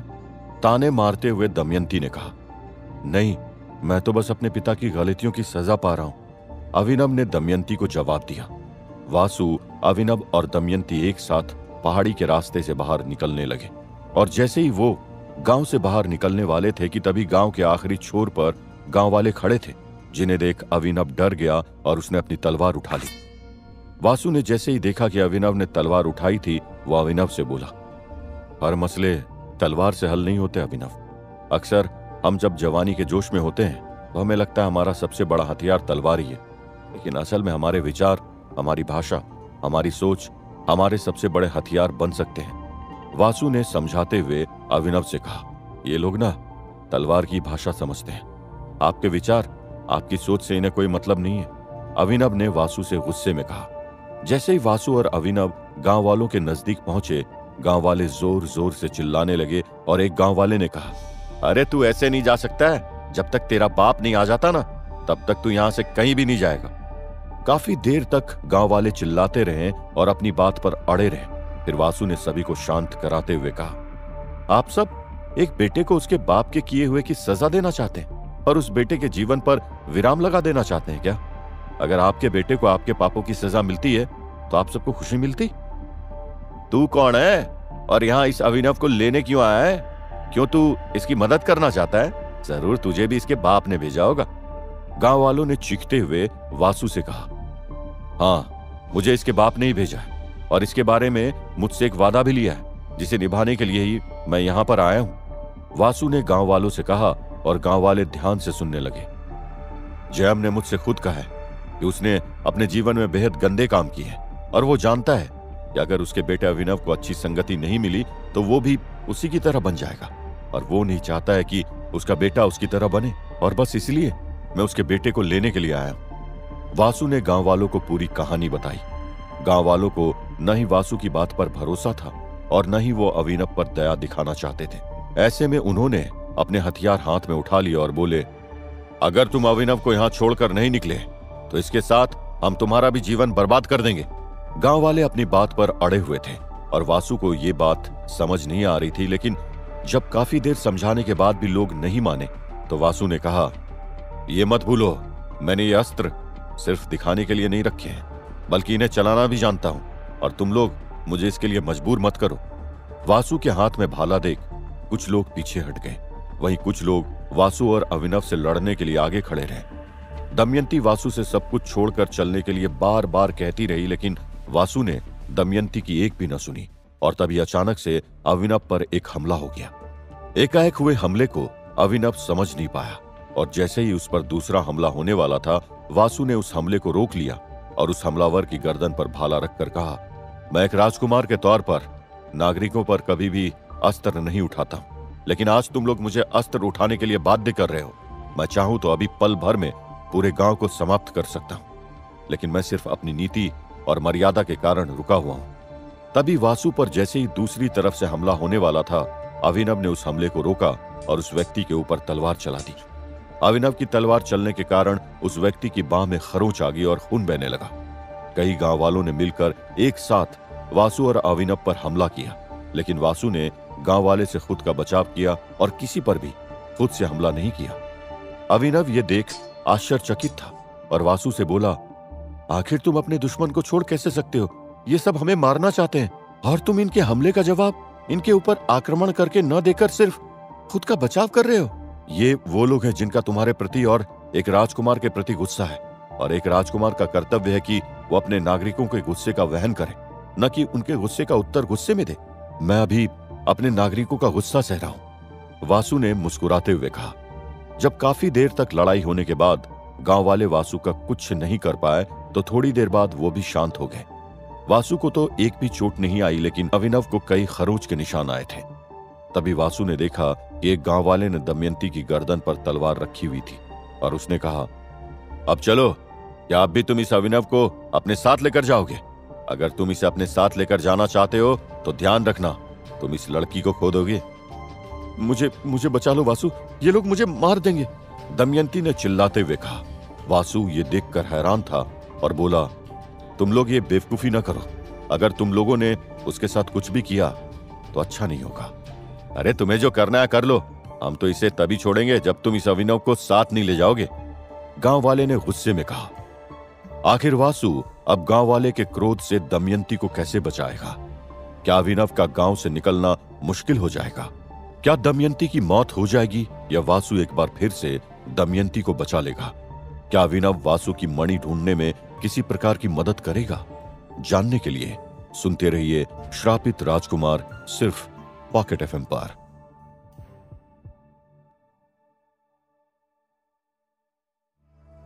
वासु के लिए उन गाँव वालों से दमयंती को बचाना बेहद आसान था, लेकिन वासु किसी भी गाँव वाले को नुकसान नहीं पहुंचाना चाहता था। इसलिए काफ़ी देर तक वासु गाँव वालों से विनती करता रहा, लेकिन गाँव वाले वासु की बात मानने को राज़ी नहीं हुए। आखिरकार कुछ देर बाद वासु ने अपना भाला लिया। लंबी छलांग लगाई और हवा में उड़ते हुए उस आदमी के सिर पर एक लात मारी, जिसने दमयंती की गर्दन पर तलवार रखी थी। वह आदमी खड़ा खड़ा ही गिर गया और उसके नाक से खून गिरने लगा। तुम मुझे इतना कमज़ोर समझते हो? मैंने बहुत देर तक संयम से काम लिया, लेकिन अब जब तुम लोग मानने को ही तैयार नहीं हो तो फिर मुझे ऐसा ही कुछ करना पड़ेगा। वासु ने गाँव वालों की तरफ़ भाला दिखाते हुए कहा। अब गाँव वाले डर गए थे और धीरे धीरे पीछे हटने लगे। थोड़ी देर बाद वासु, दमयंती और अभिनव किसी तरह से बचकर गाँव से बाहर आ गए। थोड़ी दूर चलने के बाद वासु ने अभिनव को मणि के बारे में सारी जानकारी दी और उसे बताया कि वो मणि वासु के लिए कितना ज़रूरी है। अभिनव ने वासु से कहा कि अब से वो मणि को ढूँढने में वासु की मदद करेगा और हमेशा ही एक छोटे भाई की तरह वासु की एक भुजा बनकर रहेगा। वासु, दमयंती और अभिनव मणि को ढूँढने के लिए पहाड़ियों को पार करते हुए चले जा रहे थे। काफ़ी दूर चलने के बाद तीनों लोग एक गाँव में पहुँच गए और वासु ने कहा क्यों ना हम इस गाँव में ठहर कर कुछ देर आराम कर लेते हैं, क्योंकि अभी हमें काफ़ी दूर तक जाना है। अभिनव और दमयंती वासु की बात मानकर एक जगह पर बैठ गए और आराम करने लगे। तभी कुछ लोगों की ज़ोर ज़ोर से चिल्लाने की आवाज़ आने लगी। दमयंती अचानक से शोर सुनकर उठ गई और बोली, हमें यहाँ से निकलना चाहिए, क्योंकि मुझे लगता है इस गाँव में कोई संकट है। और अगर हम फिर से यहाँ फंस गए तो मणि तक नहीं पहुँच पाएँगे। वासु ने दमयंती की ओर देखा और मुस्कुराते हुए बोला, तुम हमेशा दूसरों की मदद करने से दूर क्यों भागती हो, दमयंती? अगर यहाँ पर कोई संकट है तो हमें उस संकट से बचने के लिए गाँव वालों का साथ देना चाहिए दमयंती ने गुस्से में मुँह बनाया और कुछ भी नहीं बोली। तभी वहाँ से चिल्लाता हुआ एक आदमी गुजरा और बोला, अरे जल्दी से छिप जाओ, यहाँ से भाग जाओ, नहीं तो वो भेड़िया तुम सबको खा जाएगा। वो आदमखोर भेड़िया है। उसके सामने जो भी आता है, वो उसे छोड़ता नहीं है। बासु ने जैसे ही ये सुना, उसने अपना भाला उठा लिया और अभिनव की ओर देखा। अभिनव ने भी वासु की ओर देखकर अपनी तलवार हाथ में उठा ली। पूरे गाँव में सन्नाटा था और हर किसी के दरवाजे बंद थे। एक भी इंसान गाँव की सड़क पर नहीं था। वासु ने छुप कर देखा तो एक खूंखार भेड़िया वासु की ओर बढ़ता चला आ रहा था। ये भेड़िया है या फिर भेड़िया के वेश में इंसान? वासु ने डरते हुए कहा वासु की साँसें बहुत तेज चल रही थी, क्योंकि उसने एक ऐसा भेड़िया देख लिया था जो देखने में ही भयंकर लग रहा था। इस भेड़िए का चेहरा इंसान जैसा था, और वहीं इसका धड़ भेड़िए का था। दांत नुकीले थे, जिसमें खून लगा हुआ था। अभिनव ने भी जब उस भेड़िए को देखा तो वो भी डरते हुए बोला, हमें यहाँ से निकलना ही चाहिए, नहीं तो ये हमें खा जाएगा। वासु कुछ देर सोचता रहा, और फिर बोला, नहीं नहीं, हम यहाँ से तो भाग जाएँगे। लेकिन इन गाँव वालों का जीवन संकट में आ जाएगा। न जाने कब से ये लोग इसी संकट से गुजर रहे हैं और हमें इनकी मदद करनी चाहिए। अविनव अनमने ढंग से ही सही, लेकिन वासु की बात मान गया। दमयंती ने साफ़ इनकार करते हुए कहा, तुम ऐसा कुछ भी नहीं करोगे, वासु। मैंने देखा है, जब से तुम इस मणि की खोज में निकले हो, तुमने मणि की तरफ़ कम, दूसरों की मदद की ओर ज़्यादा ध्यान दिया है। वासु ने दमयंती की ओर घूर कर देखा और बोला, दमयंती, अभी ये वक्त बहस करने का नहीं है। बल्कि इन गाँव वालों को इस संकट से बचाने का है। खुद की चिंता छोड़कर गाँव वालों और लोगों को ही बचाते रहना। दमयंती ने बुदबुदाते हुए कहा। वासु ने दमयंती की बात को अनसुना कर दिया। वो खूंखार, भेड़िया और भी पास आ गया और वासु ने अभिनव को इशारा किया। जैसे ही वासु ने इशारा किया, अभिनव और वासु दोनों ही हाथ में तलवार और भाला लिए उस भेड़िए के सामने आ गए। भेड़िया वहीं रुक गया और गौर से इन दोनों को देखने लगा। वहीं रुक जा। और अगर तू जरा सा भी आगे बढ़ा तो हम तुझे मार देंगे। वासु ने उस भेड़िए से कहा। भेड़िया गुस्से में घुर्राया और वासु ने भाला उसकी तरफ़ कर दिया। गाँव वाले घर के अंदर से छुपकर ये सब देख रहे थे और मन ही मन सोच रहे थे कि आखिर ये दोनों कौन थे, जो बिना डरे भेड़िए के सामने खड़े थे।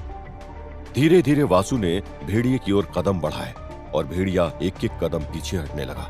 जैसे जैसे वासु भेड़िए की तरफ़ बढ़ा, भेड़िया वहाँ से भाग गया, जिसके बाद गाँव वाले अपने अपने घरों से बाहर निकले और वासु और अभिनव को देखकर हैरान रह गए।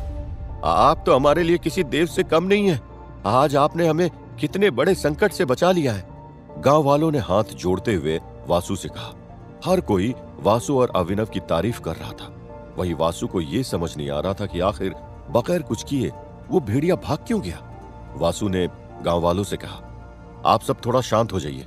मैं कोई देवता और भगवान नहीं हूँ। बल्कि आपकी तरह एक आम इंसान हूँ। लेकिन मुझे यह बताइए कि आखिर ये भेड़िया मुझे देखकर भाग क्यों गया?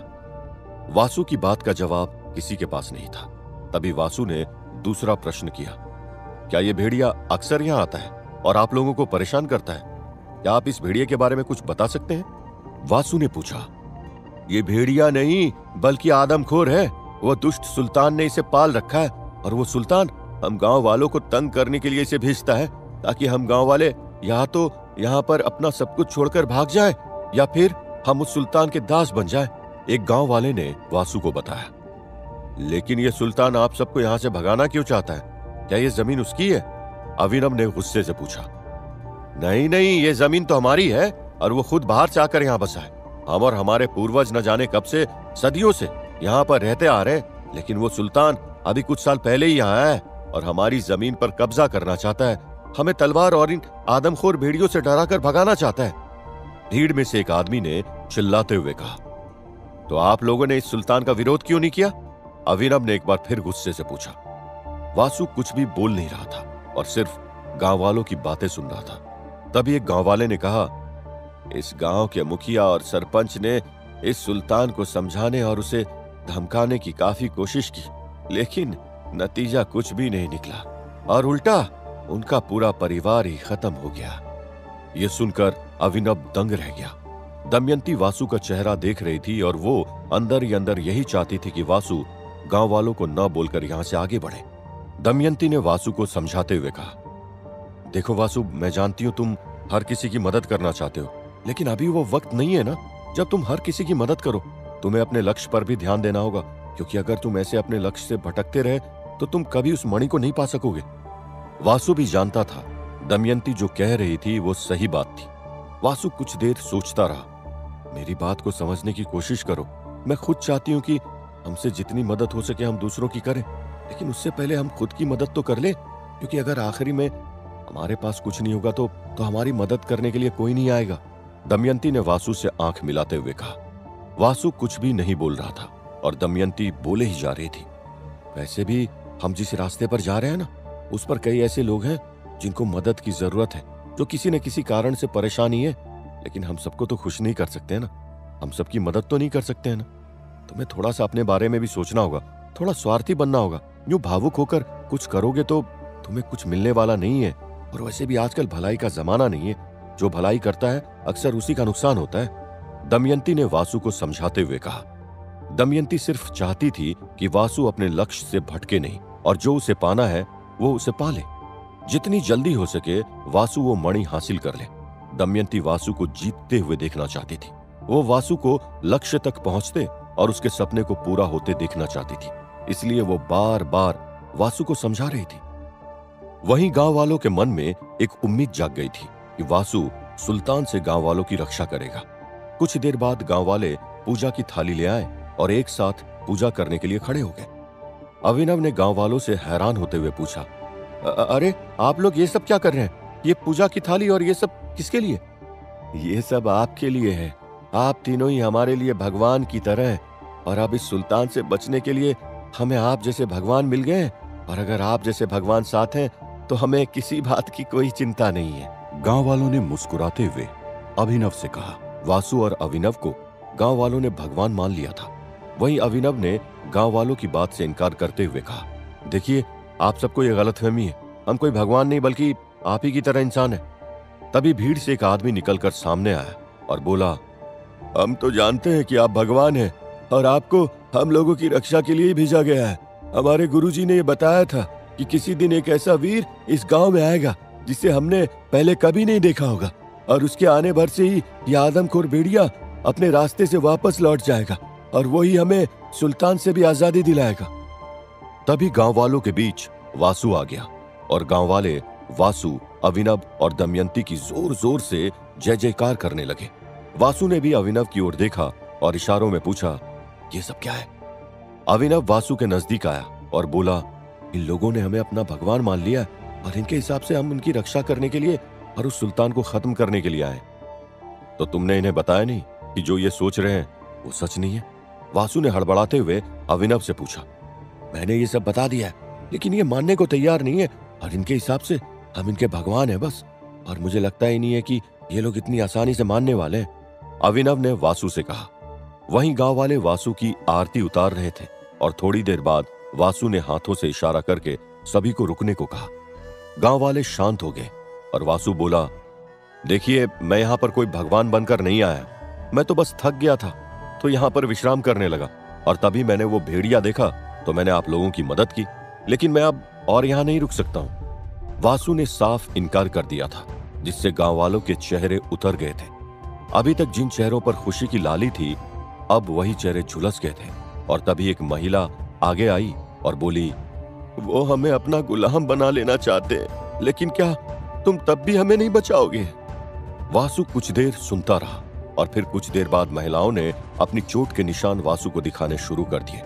वासु सब देखकर सुन्न सा हो गया था, क्योंकि महिलाओं को काफ़ी चोट लगी थी। जिसके बाद पुरुषों ने अपने शरीर को दिखाने की कोशिश की तो वासु बोला, तुम लोगों की उम्र क्या है? उन व्यक्तियों में से किसी ने अपनी उम्र 25 बताई तो किसी ने 26 लेकिन हर कोई 30 से 40 साल की उम्र से कम नहीं लग रहा था। वासु ने हैरानी से पूछा, आखिर ऐसा क्यों कि तुम लोग अपनी उम्र से पहले बड़े लगने लगे हो। गाँव वाले रोने लगे और एक गाँव वाले ने कहा, वो हमारे पानी में, हमारे अन्न में और हमारे इंसानों में किसी न किसी प्रकार की दवाई मिलाई है और उस दवाई के कारण हम अपनी उम्र से ज़्यादा दिखाई देते। उस दवाई से हमारा शरीर जल्दी बूढ़ा होता जा रहा और हमारी शक्तियाँ भी कम होती जा रही है। तभी एक बूढ़ी औरत वासु के पास आई और हाथ जोड़कर बोली, बेटा, अब बस तुम ही हम लोगों का सहारा हो। क्योंकि अगर उस सुल्तान का कहर समाप्त नहीं हुआ तो एक दिन वह हमारे इन पूर्वजों की ज़मीन पर कब्जा कर लेगा और फिर वो यहाँ पर अपने मनमाने ढंग से राज करने लगेगा। वासु ने उस बूढ़ी माँ का हाथ पकड़ा और बोला, आप हाथ मत जोड़िए। मैं ज़रूर आप सबकी मदद करता, लेकिन इस वक्त मैं मजबूर हूँ। आप मुझे माफ़ कीजिए। वासु की आँखें नीचे झुकी हुई थी। और गाँव वाले वासु की मदद के इंतज़ार में खड़े हुए थे। क्या वासु गाँव वालों की मदद करेगा? क्या सुल्तान गाँव वालों की ज़मीन और ज़िंदगी पर कब्जा कर लेगा? क्या वासु उन लोगों को सुल्तान के अत्याचार से बचा पाएगा? जानने के लिए सुनते रहिए श्रापित राजकुमार, सिर्फ़ पॉकेट एफ़ पर।